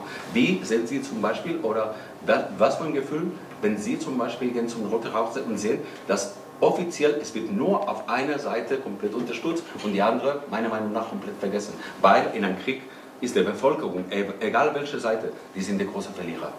Mhm. Aber ich glaube, äh, das will ich mal kurz vorausschieben, das haben wir, glaube ich, äh, da sind wir uns, glaube ich, alle einig, dass die Zivilbevölkerung immer der Verlierer, also die Verlierer sind. Ich glaube, da können wir uns alle darauf einigen, oder nicht? Ja, selbstverständlich. Ich will äh, ein paar Punkte dazu sagen. Also erstens, äh, wir haben vorhin über Meinungsfreiheit gesprochen und äh, dazu gehört natürlich auch, äh, dass Leute, die sich jetzt mit den palästinensischen Opfern dieses Krieges solidarisieren wollen, auch auf die Straße gehen können müssen. Das finde ich, da gab es ja am Anfang doch irgendwie Zweifel. Also es wurde ja versucht, pro-palästinensische Demonstrationen zu verbieten und teilweise wurden sie auch verboten. Da würde ich sagen, ich würde mir sehr genau anschauen, auf was für eine äh, Demo ich da gehe, aber sie muss stattfinden dürfen. Das ist mal das Erste, was ich sagen will. Also es ist nicht richtig, die Leute, ja, die, äh, finden die ja statt, auch, sie finden ja auch statt und es ist, ich finde es ja auch richtig, dass sie stattfinden, weil natürlich die Menschen, die hier leben und die vielleicht Familie im Gazastreifen haben, die müssen ja mit ihrer Angst und ihrer Wut und ihrem Entsetzen auch die müssen dem ja auch Ausdruck verleihen können. Das ist total wichtig, weil wenn man das unterbindet, äh, verschwinden ja Wut, Angst und Hass nicht, sondern äh, werden eher noch stärker. Also von daher, das ist mal das Erste, was ich sagen will. Das Zweite, wo ich Ihnen schon ein bisschen recht gebe, das stimmt, äh, so in den ähm, Medien oder auch in der offiziellen Politik ist sehr wenig Empathie für die Opfer in Gaza. Würde ich auch sagen. Ich meine, ich habe vorhin die Zahl genannt. Ich, ich weiß nicht, ob sie stimmt, aber es sind sicher viele tausend Menschen, die gestorben sind. Und äh, wir sehen sie nicht wirklich. Und sie, äh, also es ist, der Umgang ist wenig empathisch, würde ich auch sagen. Und das ist auch nicht in Ordnung, weil natürlich ist doch klar, für mich sind Palästinenser nicht gleich Hamas, sondern für mich sind die Palästinenser, die dort leben und die jetzt sterben, auch Opfer der Hamas. Und äh, Sarah Wagenknecht ist ja dafür kritisiert worden, dass sie gesagt hat, äh, Gaza ist ein Freiluftgefängnis. Aber es ist ja richtig, es ist ja nicht so, dass die, äh, die Wärter dieses Freiluftgefängnisses sind nicht nur die Israelis, sondern die Wärter dieses Freiluftgefängnisses sind insbesondere auch die Hamas und auch die Nachbarländer, die die Leute zum Beispiel nicht reinlassen, wie Ägypten. Insofern gibt es viele äh, Gefängniswärter und die, das Opfer die all dieser Kräfte sind die Menschen, die dort leben unter schlimmen Bedingungen. Und das finde ich, das kann man ruhig mal festhalten. Aber äh, das finde ich gut, dass du das sagst. Aber dann muss man eben auch dazu sagen, dass eben die Zivilbevölkerung auch Opfer der Hamas ist. Und das kommt mir dann zu kurz. Also, aber, Deswegen äh, habe ich es gesagt. Ja, gut, gut. Okay, da haben wir noch eine Frage. Kommen Sie bitte nach vorne, setzen Sie sich auf den Fragestuhl. ja, also es gab ähm, einen Spagat, den ich nie verstanden habe. Und das war so diese intellektuelle Nähe von Linken zum Islamismus oder zur islamistischen Gesellschaft. Also ich konnte es nie nachvollziehen, dass eine Bewegung, die Linke äh, als Partei, die Linke als äh, gesellschaftliche Bewegung emanzipatorisch ist, freiheitlich ist, äh, zukunftsorientiert ist und ähm, antireligiös ist. Also es gab ja nichts Schlimmeres im linken Movement, als wenn sie äh, daherkommen und sagen, na, ich bin katholisch und komme aus Polen. Also das ist irgendwie so kurz vor Genickschluss. Da muss man sich schon mal rechtfertigen. Und trotzdem hat diese emanzipatorische, freiheitliche, äh, gleichheitliche Bewegung immer eine Sympathie entwickelt für islamistische Bestrebungen im Sinne von, ein Kopftuch ist ein Symbol der Befreiung der Frau. Konnte sowas intellektuell nie nachvollziehen. Mir war es nie irgendwo äh, begreiflich, begreiflich, wie kann man eine, äh, die Religion, die die Segregation der Geschlechter so stark forciert wie keine andere Religion dieser Erde, also keine Religion ist irgendwo äh, für die Emanzipation der Frau, um Gottes Willen, aber auch da gibt es äh, skalierbare Unterschiede. Und ausgerechnet die Religion, die die Segregation der Geschlechter ähm, als, ähm, quasi als ihr Lebenssymbol beinhaltet, die hat immer Sym Sympathien bei den Linken gefunden, die für mich als intellektueller Spagat nicht nachvollziehbar waren. Gibt es unter Sarah Wagenknecht und ihrer Freundschaft zu Alle Schwarze da jetzt irgendwie so eine gewisse Rationalisierung linken Gedankengutes bezüglich, äh, äh, bezüglich äh, extremistischen religiösen Verhaltens? Also Sarah Wagenknecht war ja noch nie bekannt dafür, dass sie irgendwie islamistische Tendenzen gut geheißen hätte und äh, ich übrigens auch nicht.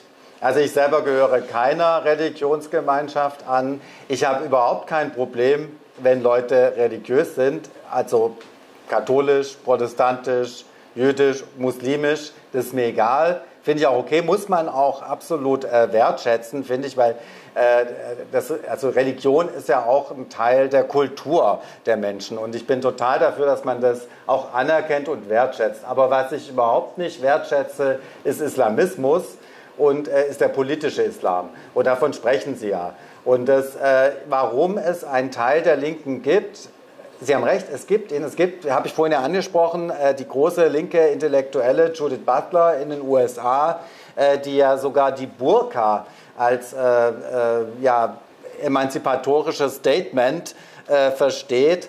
Das kann ich nicht nachvollziehen. Da müssen Sie eigentlich jemand anderen fragen, weil für mich ist das nicht links. Da sehe ich das, das sehe ich genau wie Sie.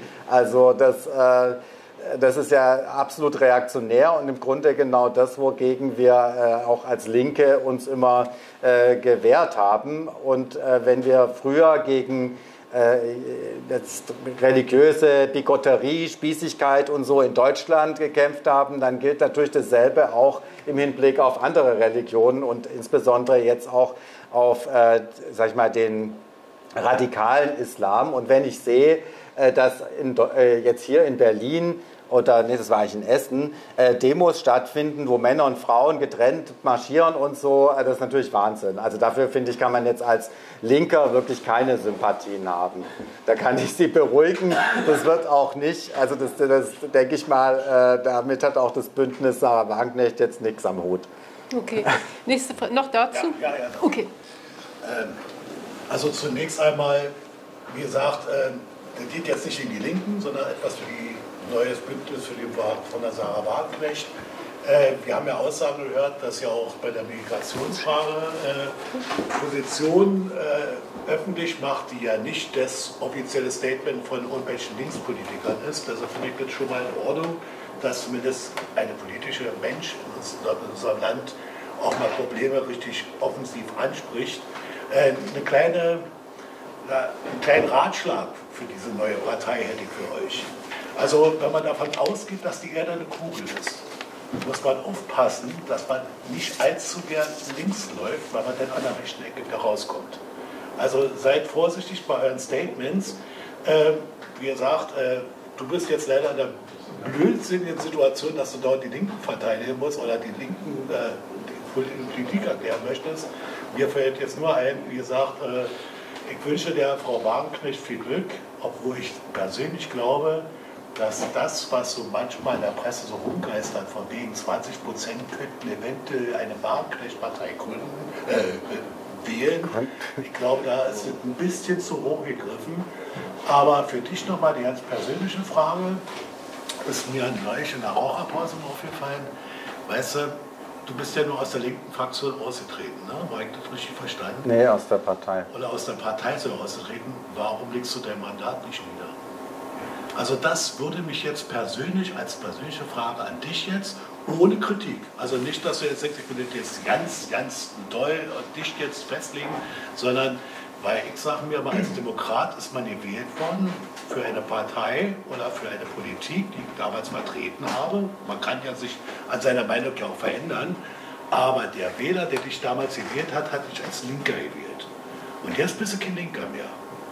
Wie soll sich dieser Wähler, also ob der sich da am Ende ver verarscht fühlen könnte? Also deshalb nur die rein persönliche Frage, wie gesagt, was zu Sarah gesagt hat, habe ich gesagt.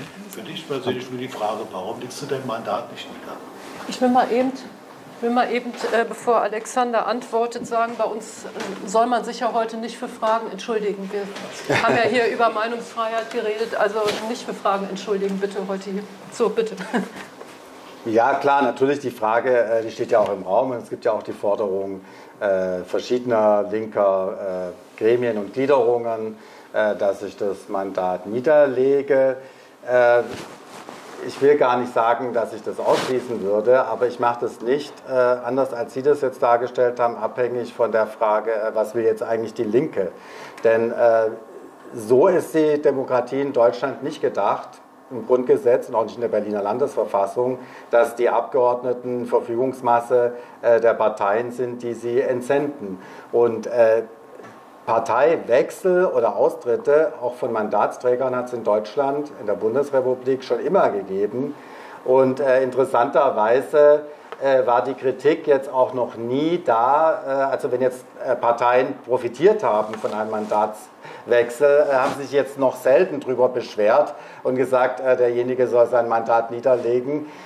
ich habe jetzt gerade gestern, nee, vorgestern gelesen, dass mich die linke Spandau aufgefordert hat, mein Mandat niederzulegen, damit die linke Kandidatin äh, Leschewitz aus Spandau dann äh, also an meine Stelle nachrücken kann. Äh, sie ist die Frau von dem Fraktionsvorsitzenden in der BVV Spandau, äh, Lars Leschewitz, der ja nur deswegen Fraktionsvorsitzender ist, weil die Linke in Spandau eine Mandatsträgerin der Grünen in ihren Reihen aufgenommen hat und dadurch überhaupt erst also von einer Gruppe zu einer Fraktion wurde.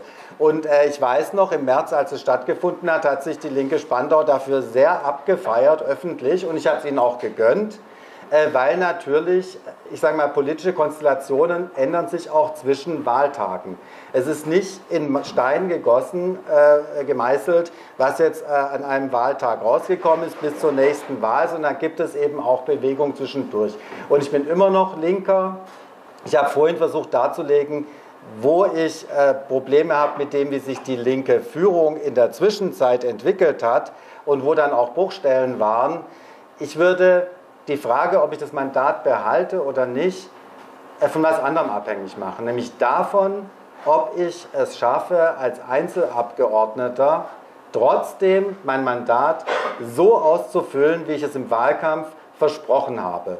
Und wie es auch den äh, politischen Inhalten entspricht, mit denen ich angetreten bin Und äh, ich weiß nicht, ob das geht. Ich werde sehen. Ich stelle es mir schwierig vor. Wenn ich feststelle, ich sitze im Abgeordnetenhaus nur meine Zeit ab und kann eigentlich gar nichts mehr bewegen, dann würde ich das Mandat nicht behalten. Wenn ich das Gefühl habe, äh, ich kann trotzdem was für die Leute tun, äh, im Wahlkreis, aber auch politisch als Medienpolitiker oder im Hinblick auf äh, stadtentwicklungspolitische oder wirtschaftspolitische Fragen, äh, dann würde ich es durchaus behalten. Das würde ich nicht abhängig machen von dem, was jetzt äh, die Partei Die Linke äh, jetzt dazu sagt. Es ist ja klar, wie gesagt, die Linke hat übrigens auch schon auf der Ebene von Landtagen auch schon oft davon profitiert, dass zum Beispiel Leute von den Grünen oder so äh, zu Linken übergewechselt sind. In Nordrhein-Westfalen hatten wir ganz lange einen einzigen linken Landtagsabgeordneten, das war jemand, der über die Grünen gewählt wurde und dann äh, bei der Linken eingetreten ist. Und da hat sich auch niemand drüber beschwert. Früher war das noch viel öfter der Fall, da war das gar kein Thema, da hat man das eben, das, da hat man die Freiheit des Mandats einfach äh, hingenommen, so wie sie im Grundgesetz geregelt ist und in den Landesverfassungen. Und äh, ich finde, wie gesagt, für mich ist der Maßstab, ob ich was für die Wähler tun kann als Einzelabgeordneter oder nicht. Und äh, von der Bevölkerung, von Wählern selbst, habe ich total unterschiedliche Rückmeldungen. Natürlich haben mich auch Leute aufgefordert, das Mandat niederzulegen, weil sie gesagt haben, sie haben ja die Linke gewählt und nicht Sarah Wagenknecht oder so. Und andere haben aber auch genau geschrieben, ich soll das Mandat auf keinen Fall zurücklegen, weil sie haben unter anderem auch wegen Sarah Wagenknecht und deren Positionen die Linke gewählt. Auch das gibt es ja. Und insofern äh, würde ich sagen, ja, da habe ich, glaube ich, alles dazu gesagt. Ich finde, das ist eine Debatte, die ist zwar berechtigt, aber die wird leider von Interessierten äh, auch äh, sehr unehrlich geführt. Wie gesagt, wenn man was gewinnt, freut man sich und spricht nicht weiter drüber und wenn man was verliert, äh, dann fällt einem plötzlich ein, das sei total undemokratisch. Okay, gut, wenn zu dem Themenkomplex keiner mehr eine Frage hat, äh, bitte auf den Fragestuhl, dann machen wir eine Musik. Wir wollen nämlich auch noch zum Thema Sozialpolitik kommen. Also erstmal im Nachgang äh, zu dem, was Sie gerade gesagt haben, äh, zur Freiheit des Mandates. Ähm, als Bezirksverordneter aus Reinigendorf kann ich gerne berichten, dass sich die linke Fraktion in Reinigendorf äh, auch zerfleddert hat in eine Gruppe und in den Einzelverordneten und dass die ehemalige linke äh, Fraktionärin offen mit den Grünen sympathisiert und die Grünen schon äh, die CDU hinzugekommen sind und gesagt haben, wenn aber sie, also die ehemalige Linke bei uns jetzt eintritt, dann haben wir selbstverständlich einen Anspruch daran, dass wir die Zusammensetzung der Ausschüsse nochmal neu überdenken und alles neu reden. Also, Sie haben absolut äh, genau das gesagt, was äh, jeder Mandatsinhaber immer sagen würde und zu Recht auch sagen muss.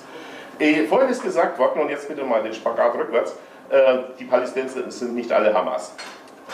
Kam die Aussage hier. So. Ähm, was mich an linker Bewegung in der Gesellschaft in Deutschland immer fasziniert hat und gefallen hat, war die Aufarbeitung des Nationalsozialismus. Nach 1945 waren die Menschen nicht alle weg, die waren in den Institutionen, die waren äh, Juristen, Richter, Ärzte und haben dort weitergemacht, teilweise mit dem gleichen Gedankengut. Eine Aufarbeitung des deutschen Nationalsozialismus geschah nur und ausschließlich unter linker Führung. Als CDUler erkenne ich das an. Das ist eine gesellschaftliche Leistung. Die Linke hat damals der Gesellschaft bewusst gemacht und gesagt, dass Strukturen dazugehören, dass so etwas passiert, dass menschliche Gedankengänge dort irgendwo verhaftet sein müssen und dass es sehr, sehr viele Menschen geben muss, die mit gleichen Gedankengängen das Gleiche gewollt haben. Es war nicht nur der Hitler, der es getan hat. In Bayern haben sie gesagt, naja, der ganze Nationalsozialismus kam aus Berlin, wir hatten nichts damit zu tun. In Berlin haben sie gesagt, das ganze Nazitum kam aus Bayern, wir haben damit nichts zu tun und überhaupt war es ja nur der Hitler und alle anderen waren in Ordnung. Okay, und jetzt machen wir einen großen geistlichen Spagat. Wenn Sie eine Hamas in, Paläst äh, in Gaza haben, nicht in ganz Palästina, dann fußt die auf eine gewisse Tolerierung, Unterstützung, Sympathie, Sympathie durch die Gesellschaft. Die Gesellschaft ist maßgeblicher Träger dieser Aktionen. Die Behauptung, der Palästinenser an sich ist unschuldig, der hat ja mit den Hamas-Gräueltaten gar nichts zu tun, ist genauso dümmlich wie die Behauptung, der durchschnittliche Deutsche hat ja nie was mit dem Nationalsozialismus zu tun, das war ja der Hitler mit ein paar Schergen, der das zusammen gemacht hat. Den geistigen Spagat muss man machen können. Die Behauptung hat aber auch niemand aufgestellt, glaube ich. Äh, selbstverständlich ist mir auch klar, dass äh, die Hamas auch in der Bevölkerung Unterstützung hat. Das ist doch klar. Und ich weiß auch, ich war oft in äh, Ländern dieser Region Und äh, mir ist dabei schon begegnet, dass es äh, also in diesen Ländern einen stark verankerten Antisemitismus gibt. Das ist so. Und äh, das, das, erleben wir auch hier äh, in der entsprechenden Community, die äh, nach Deutschland gekommen ist, aber das ist in den Ländern selbst teilweise äh, natürlich auch stark verankert. Ich würde auch nicht sagen, die Bevölkerung hat mit der Hamas nichts zu tun. Aber trotzdem muss man, äh, finde ich, schon nochmal unterscheiden zwischen denen, die solche terroristischen Akte ausüben und der ganz normalen Bevölkerung. Und ich kann natürlich nicht sagen, äh, Leute, die jetzt äh, das Falsche im Kopf haben oder die falsche Politik unterstützen, äh, gegen die darf man dann äh, Bomben einsetzen. Also das, äh, das geht, finde ich, geht zu weit, vor allem weil man ja dadurch gar nicht erreichen wird, dass die Leute äh, sich von der Hamas entfernen. Das glaube ich nicht. Ich glaube, dass die Leute der Hamas eher noch stärker zulaufen werden. Das ist meine Befürchtung. Aber ich würde jetzt auch nicht sagen, äh, die Hamas ist jetzt quasi eine völlig isolierte Organisation, die in der Bevölkerung gar nicht verankert ist. Und äh, das, das kann man total trennen. Das Problem ist doch, je länger diese Situation in, äh, zwischen Israel und Palästina äh, anhält, desto stärker wird sich die Hamas mit ihrer Ideologie oder werden sich vielleicht irgendwann, wenn sie Hamas mal, wenn sie wirklich mal zerschlagen wird, vielleicht andere islamistische Gruppen auch in den Köpfen der Leute verankern. Je länger das Problem ist, das ist genau, das ist ein, ja, wie soll ich sagen, das ist ein Prozess. Die Hamas war am Anfang, als sie entstand, hatte sie gar keine Verankerung. Da war ja noch die PLO viel stärker, da gab es auch viele Linke, also der, sag ich mal, also die haben sich links verstanden haben, säkulare Kräfte äh, in der palästinensischen Gesellschaft. Und jetzt, nach Jahrzehnten, wo das Problem eben nicht gelöst wurde, sondern äh, sich ja auch immer wieder kriegerisch entladen hat und verschärft hat, haben wir eigentlich die Situation überhaupt erst, dass diese islamistische Ideologie auf so fruchtbaren Boden fällt. Und deswegen gehört das natürlich ein bisschen auch zusammen. Also äh, das Problem jetzt noch zu lösen ist wahnsinnig schwierig. Also letztlich muss es ja irgendwie eine Zwei-Staaten-Lösung sein, die am Ende steht. Und es muss auch klar sein, dass, äh, also, dass man die Hamas und andere islamistische äh, Gruppen da zurückdrängt. Aber wie gesagt, ich glaube, je länger man daran, je länger das Problem existiert und je schlimmer es wird und je mehr Kriege dort stattfinden, desto mehr wird die Hamas davon nicht nur als Organisation profitieren, sondern sie wird in die Köpfe und Herzen der Leute äh, ja, eindringen können. Und das ist ja sicher auch schon im großen Umfang äh, gelungen und es wird vielleicht noch schlimmer. Gut.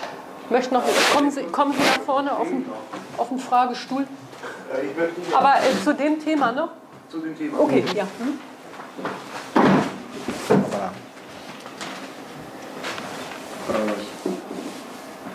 Also die, die Frage wäre die gewesen, äh, äh, kann es sein, dass die neue Eskalation im Nahostkonflikt auch etwas damit zu tun hat, äh, dass die Hamas unterstützt wird von, von der iranischen Regierung ja.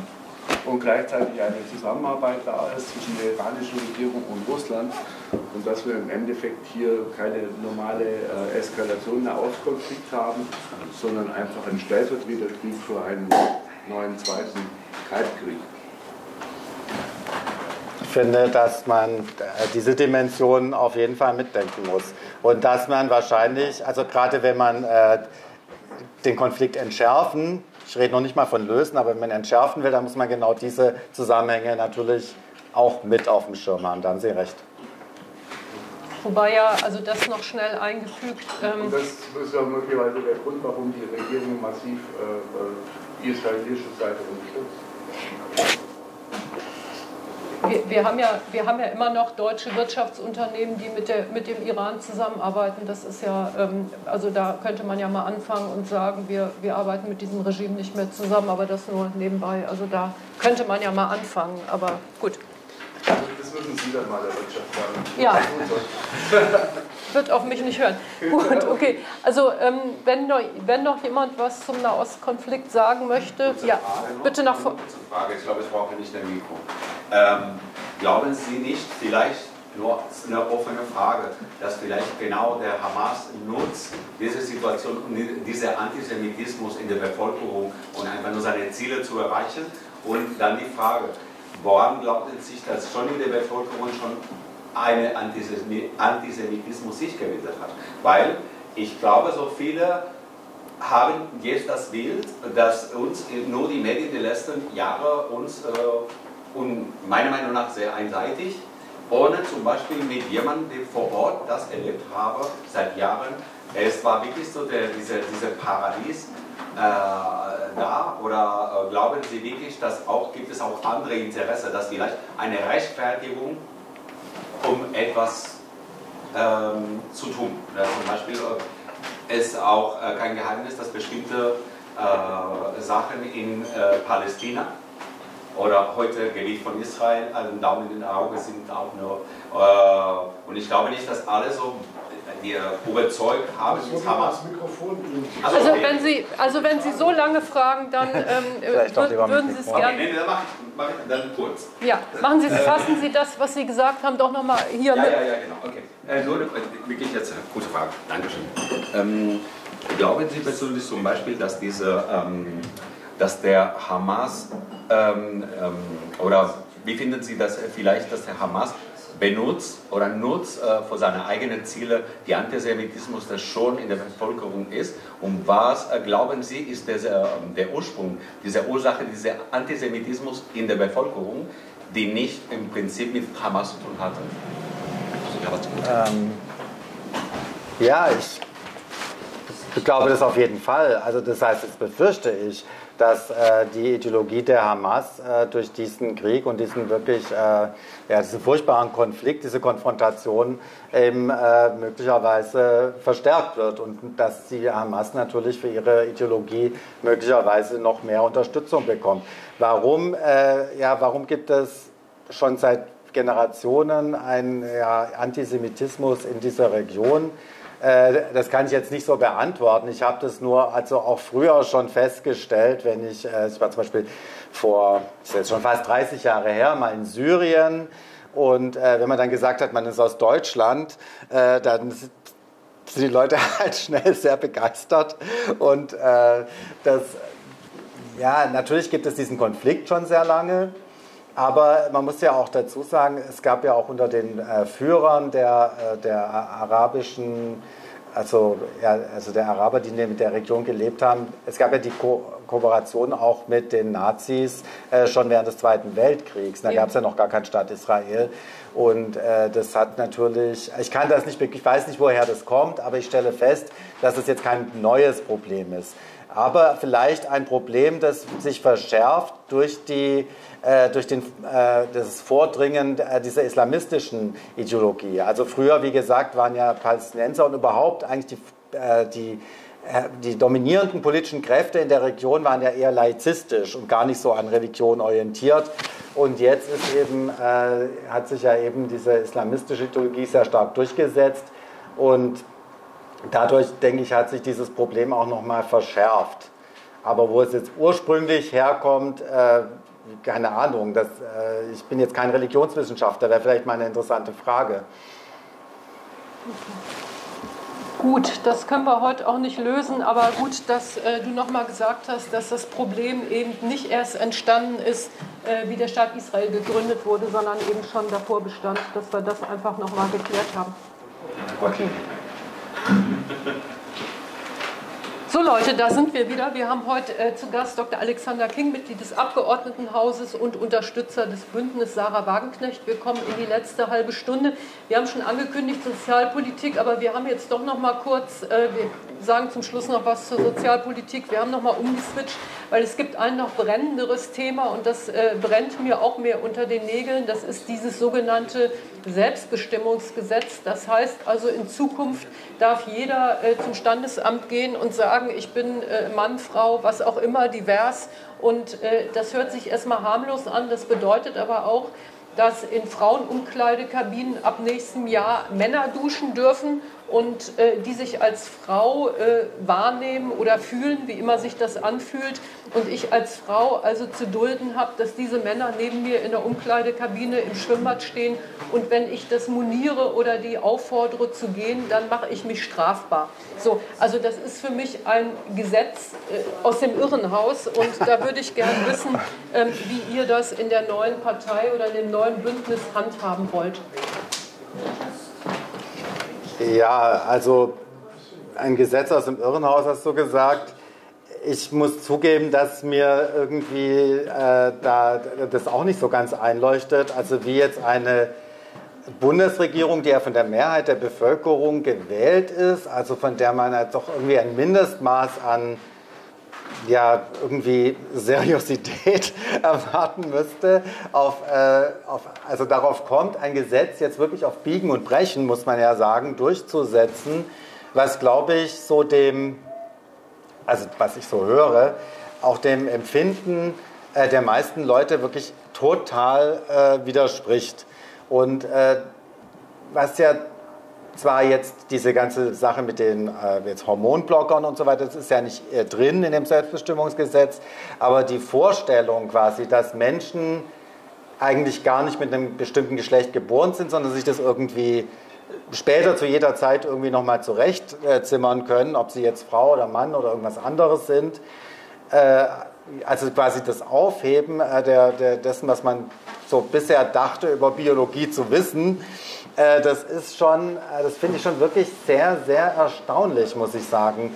Und ich bin da vielleicht nicht so stark drin wie du, aber was ich auf jeden Fall sagen kann, ist, äh, dass also die Leute, die jetzt die BSW-Unterstützer, mit denen ich mich darüber bisher unterhalten habe, sehen das alle kritisch. Jetzt ist es ja so, dass das Selbstbestimmungsgesetz, äh, ich glaube, in dieser Woche ins äh, Bundestag eingebracht wurde, wenn ich das richtig mitbekommen habe. Das ja. heißt, es wird jetzt erstmal in die Ausschüsse gehen und dann irgendwann in ein paar Wochen ja also auch im Bundestag zur Abstimmung stehen. Und äh, es ist ja, es entspricht ja so im Großen und Ganzen auch einem Gesetzentwurf, den es schon in der letzten Legislaturperiode gegeben hat. Äh, damals äh, von Grünen und FDP eingereicht. Da war das so, dass die, äh, also damals gab es ja noch die Linke, die eine Linke, und da war aber das Abstimmungsverhalten auch schon unterschiedlich. Also damals hatten zum Beispiel Sarah Wagenknecht, Sevim Dadelen, Klaus Ernst und ich glaube Alexander Ulrich, also vier Leute, die auch heute beim BSW dabei sind, haben ja schon damals gegen die äh, Votenempfehlung der Linken äh, trotzdem dagegen gestimmt. Und äh, ehrlich gesagt äh, hätte ich das wahrscheinlich auch gemacht, wenn ich Bundestagsabgeordneter gewesen wäre, weil es doch, äh, ja, also ehrlich gesagt kann ich mir gar nicht erklären, wie man überhaupt auf so eine äh, Gesetzesvorlage kommen kann.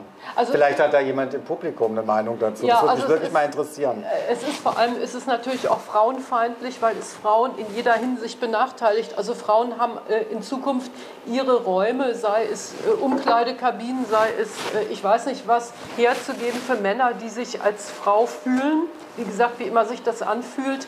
Und äh, ich darf als Frau also nicht hergehen und mich dann beschweren. Also ich darf nicht den Bademeister holen und sagen, Sie mal hier, da steht ein Mann neben mir in der Umkleidekabine in der Dusche, das möchte ich nicht. Ich mache mich dann strafbar. Und das ist also ein völliger Irrsinn. Ja, es und ist halt auch interessant, dass, äh, also im Grunde werden ja die Leute ein bisschen darauf dressiert, eigentlich alles, was sie, also was sie bisher über sich selbst und ihre Mitmenschen zu wissen glaubten, radikal in Frage zu stellen. Ja, ja. Also man, äh, es gibt ja jetzt schon diese äh, Ausweise von der, es gibt so eine Organisation, heißt die DGTI oder so ähnlich, also die Ausweise erstellt, auch mit, äh, also wo also so quasi also Zusatzausweise, wo man eben nachweisen kann, dass man zwar im Personalausweis stehen hat Mann, aber man ist eigentlich doch in Wirklichkeit eine Frau.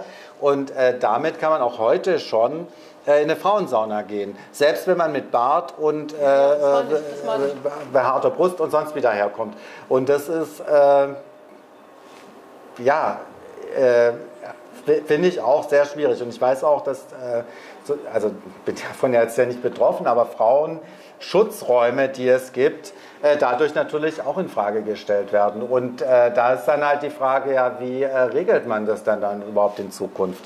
Also das soll ja angeblich, äh, ich hatte mich da mal, also es gibt ja mehrere Frauenorganisationen, die sich da im Moment darum kümmern und die auch äh, an, an die Regierung schreiben, wie das denn geregelt werden soll. Da kommen dann natürlich Solari-Fari-Briefe zurück. Es, wird, es werden keine Frauenräume okkupiert oder zum Beispiel, es geht ja um Frauenhäuser. Also es gibt ja mittlerweile auch Männer, die glauben, sie müssen in ein Frauenhaus, Frauenhäuser, das weiß wahrscheinlich jeder, sind Häuser für Frauen, die zu Hause äh, äh, Gewalt erfahren, die da Schutz suchen. Und da gibt es mittlerweile auch Männer, die glauben, sie müssen da rein, weil sie sich als Frau äh, äh fühlen.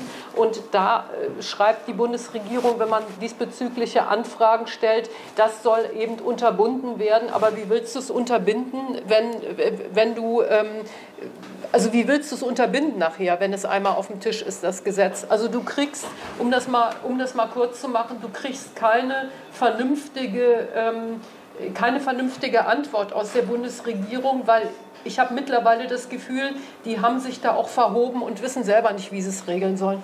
Ja, dafür sind Sie aber sehr forsch in Ihrer Vorgehensweise.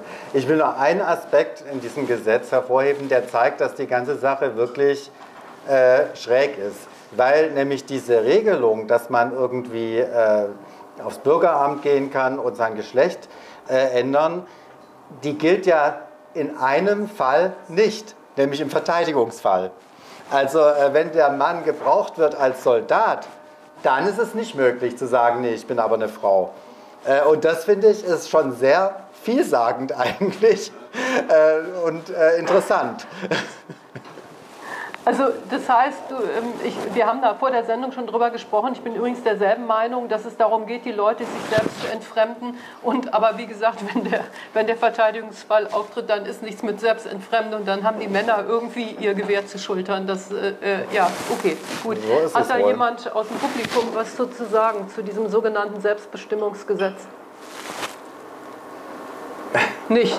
Gut, dann gehen wir jetzt doch noch zur Sozialpolitik und da würde ich gerne wissen, ähm, ich wollte das jetzt nicht als kleines Thema oder kleinreden, ähm, das ist ja ein riesiger, ein riesiger Komplex, aber ich würde trotzdem gerne noch mal wissen, was ist da geplant, weil soviel ich weiß, ist Sarah Wagenknecht sowohl gegen das bedingungslose Grundeinkommen als auch gegen das Bürgergeld, wie es im Moment äh, wie es in der jetzigen Form besteht und äh, ist da schon irgendwie eine, eine dritte Möglichkeit angedacht? Ja, also das stimmt, die, äh, Sarah Wagenknecht und auch ich, äh, anders als du, bin gegen äh, das bedingungslose Grundeinkommen. Ich hat, also das Konzept hatte mich jetzt ehrlich gesagt noch nie so überzeugt. Wir haben natürlich noch keine, äh, wir haben ja noch, also es gibt ja noch gar keine Partei und es gibt natürlich erst recht noch kein äh, Parteiprogramm, wo man jetzt irgendwie zu allen Fragen äh, en Detail irgendwie festgelegt hat, wie man das lösen will. Ich will nur erinnern, die Linke, die sich 2007 gegründet hat, hat ihr Parteiprogramm 2011 verabschiedet, also vier Jahre später. Insofern würde ich äh, darum bitten, uns da auch ein bisschen Zeit zu lassen. Ich denke aber, wenn ich mir die Akteure anschaue, die jetzt bei, B, äh, bei BSW äh, sind, äh, dass, es, dass das bedingungslose Grundeinkommen wahrscheinlich nicht Teil unserer Programmatik sein wird.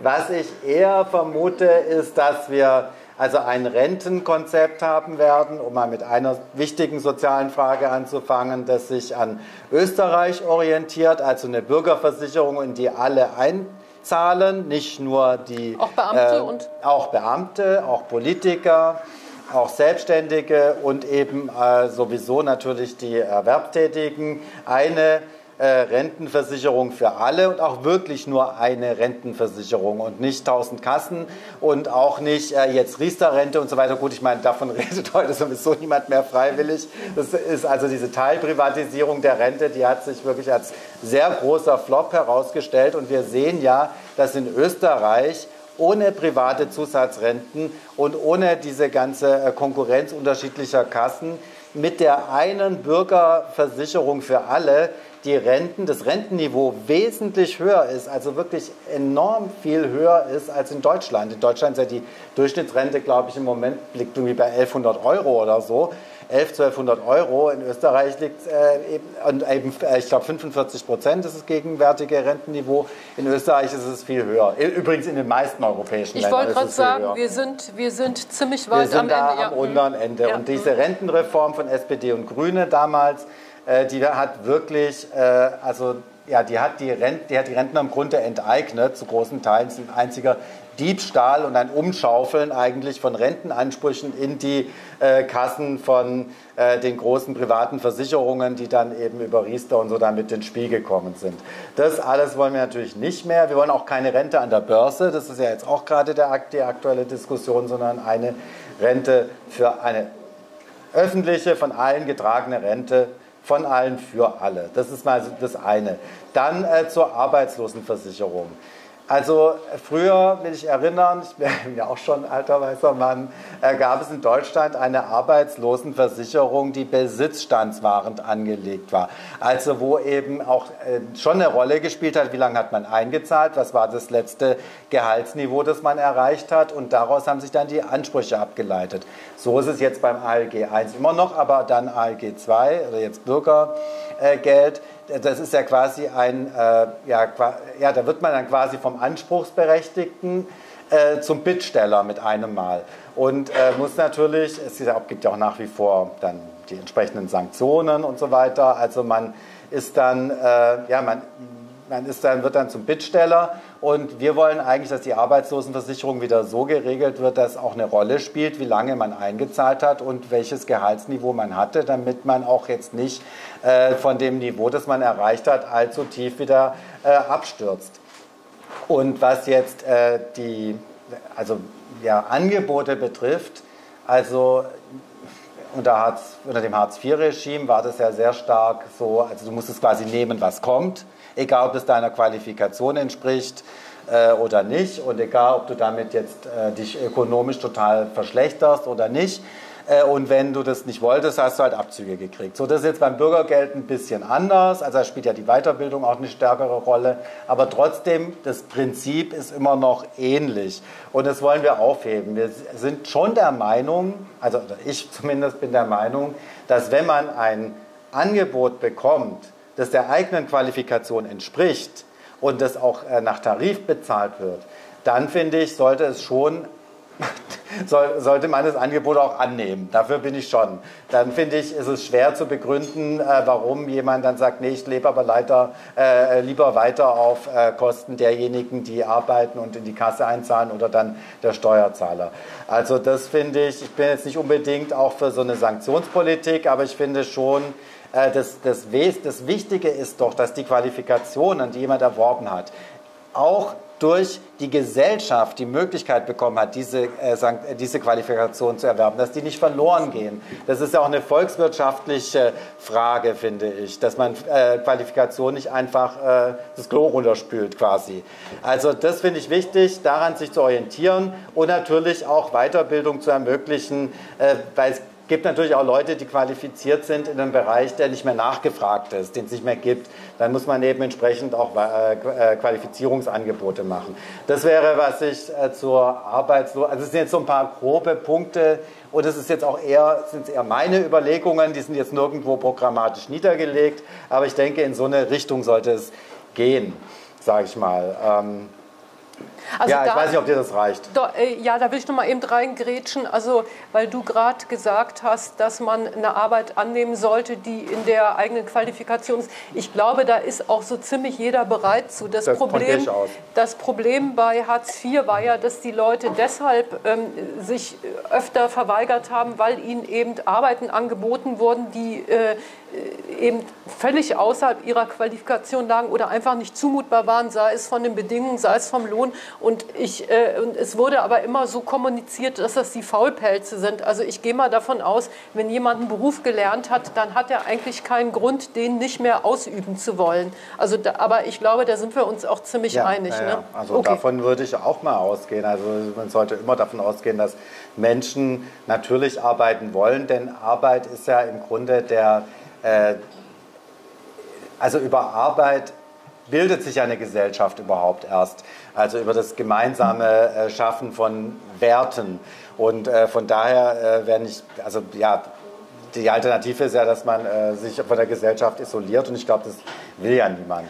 Und äh, was ich auch immer sage, also die drei, vier Leute, die überhaupt nichts tun wollen für die Gesellschaft, ich glaube, die kann jede gesunde Gesellschaft mittragen. Also wenn es ein paar Leute gibt, die sagen, ich mache gar nichts, ich will gar nichts und so, okay, die soll man mitschleppen, aber das ist wahrscheinlich wirklich eine absolute Minderheit. Na, und die kriegst ja auch du auch, die kriegst du auch mit Sanktionen nicht in Job.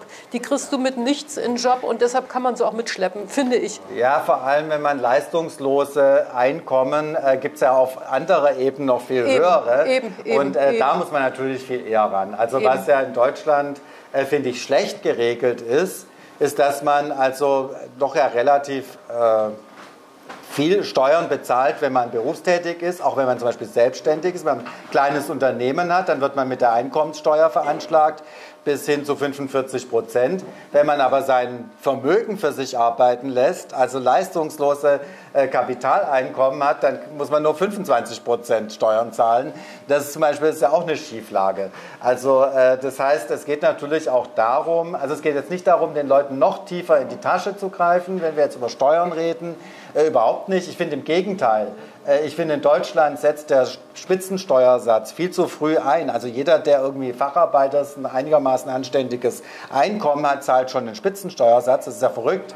Äh, und auf der anderen Seite äh, gibt es aber keine Besteuerung eben von Vermögen, beziehungsweise eben nur 25 Prozent Besteuerung von Kapitaleinkommen, für die man ja im Grunde gar nichts weiter machen muss, außer sein Geld klug anzulegen.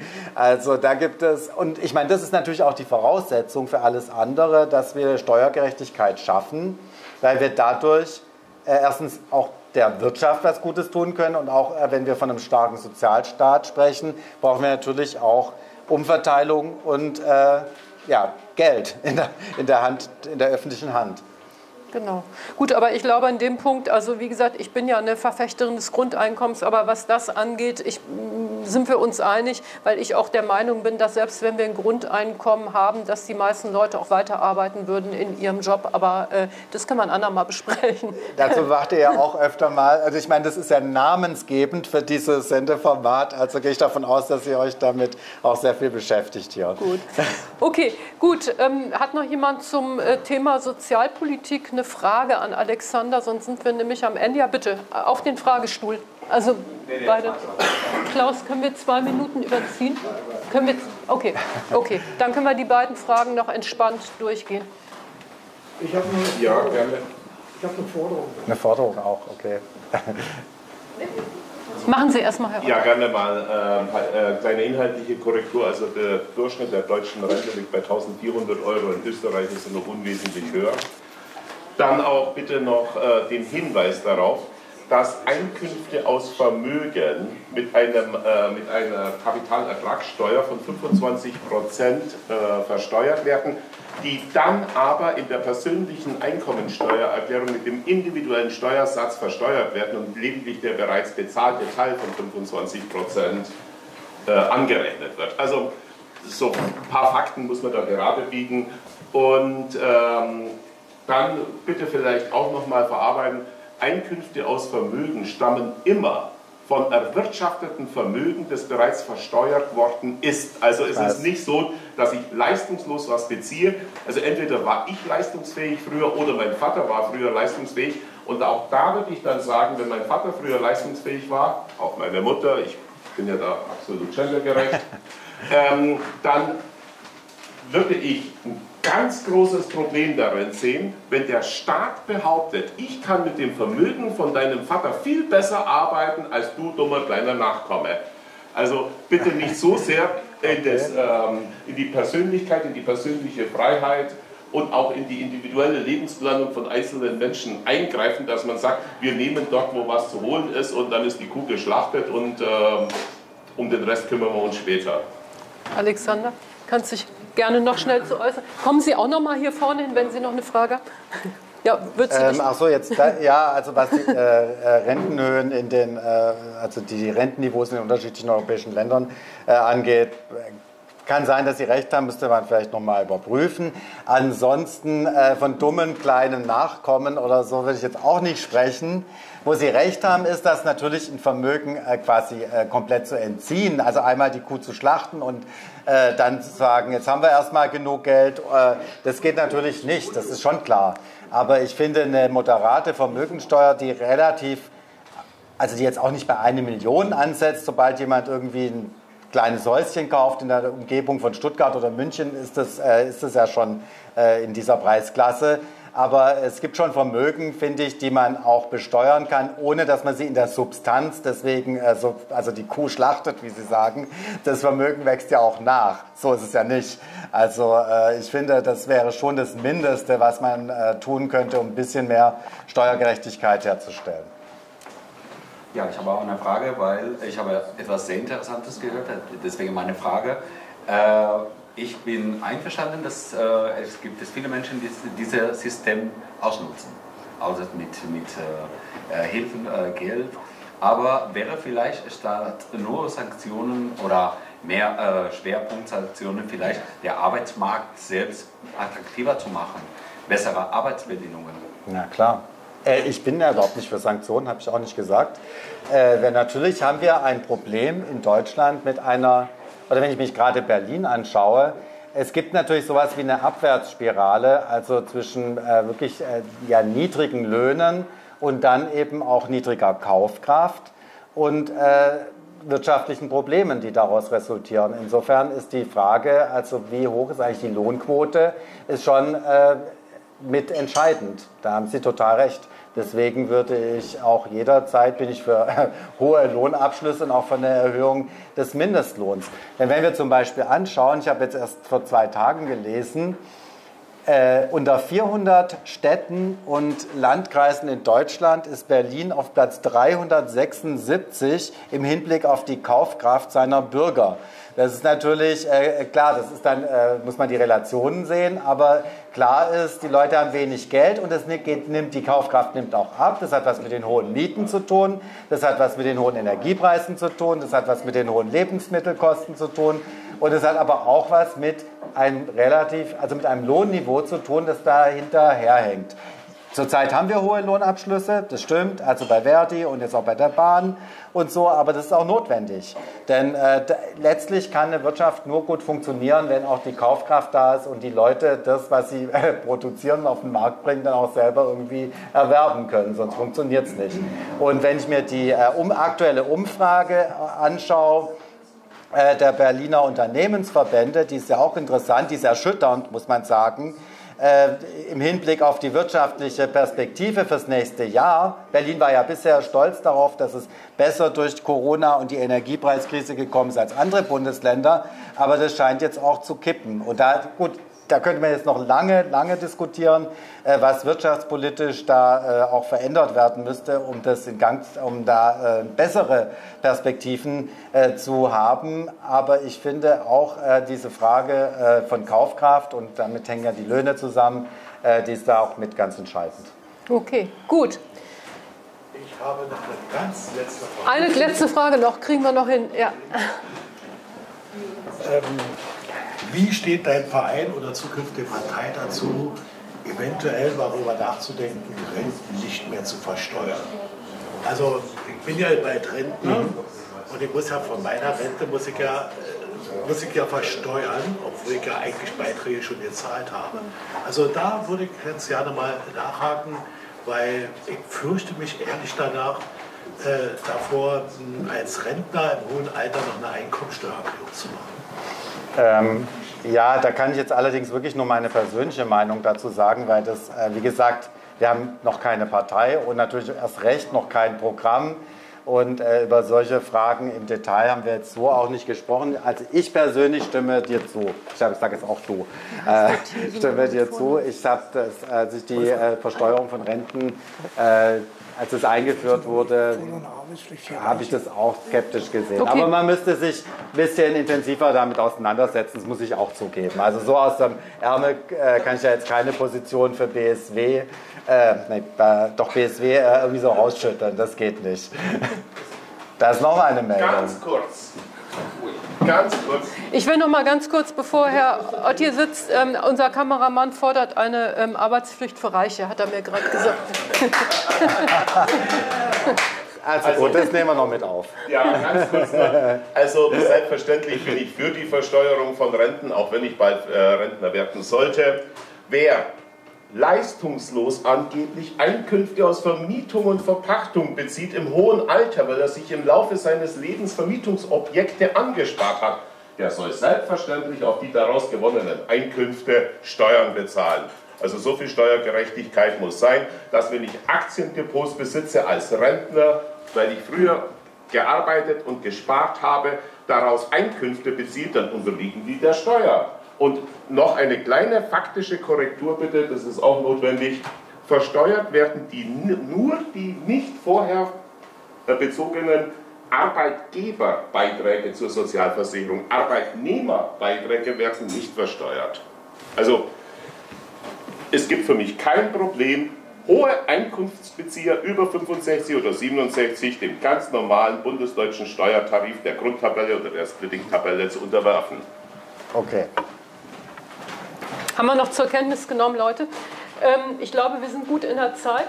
Äh, wir, haben, wir haben im Dezember haben wir hier Wolfgang Thierse sitzen. Da oh. könnt ihr auch wieder kommen und äh, Fragen stellen, wenn ihr möchtet. Und ähm, das ist in vier Wochen. Und ich danke Alexander äh, King sehr, dass er heute gekommen ist und eure Fragen beantwortet hat. Und ihr könnt den Film ab Dienstag könnt ihr euch den anschauen. Und ich würde sagen, bis Dezember, Leute, bleibt alle gesund. Na klar.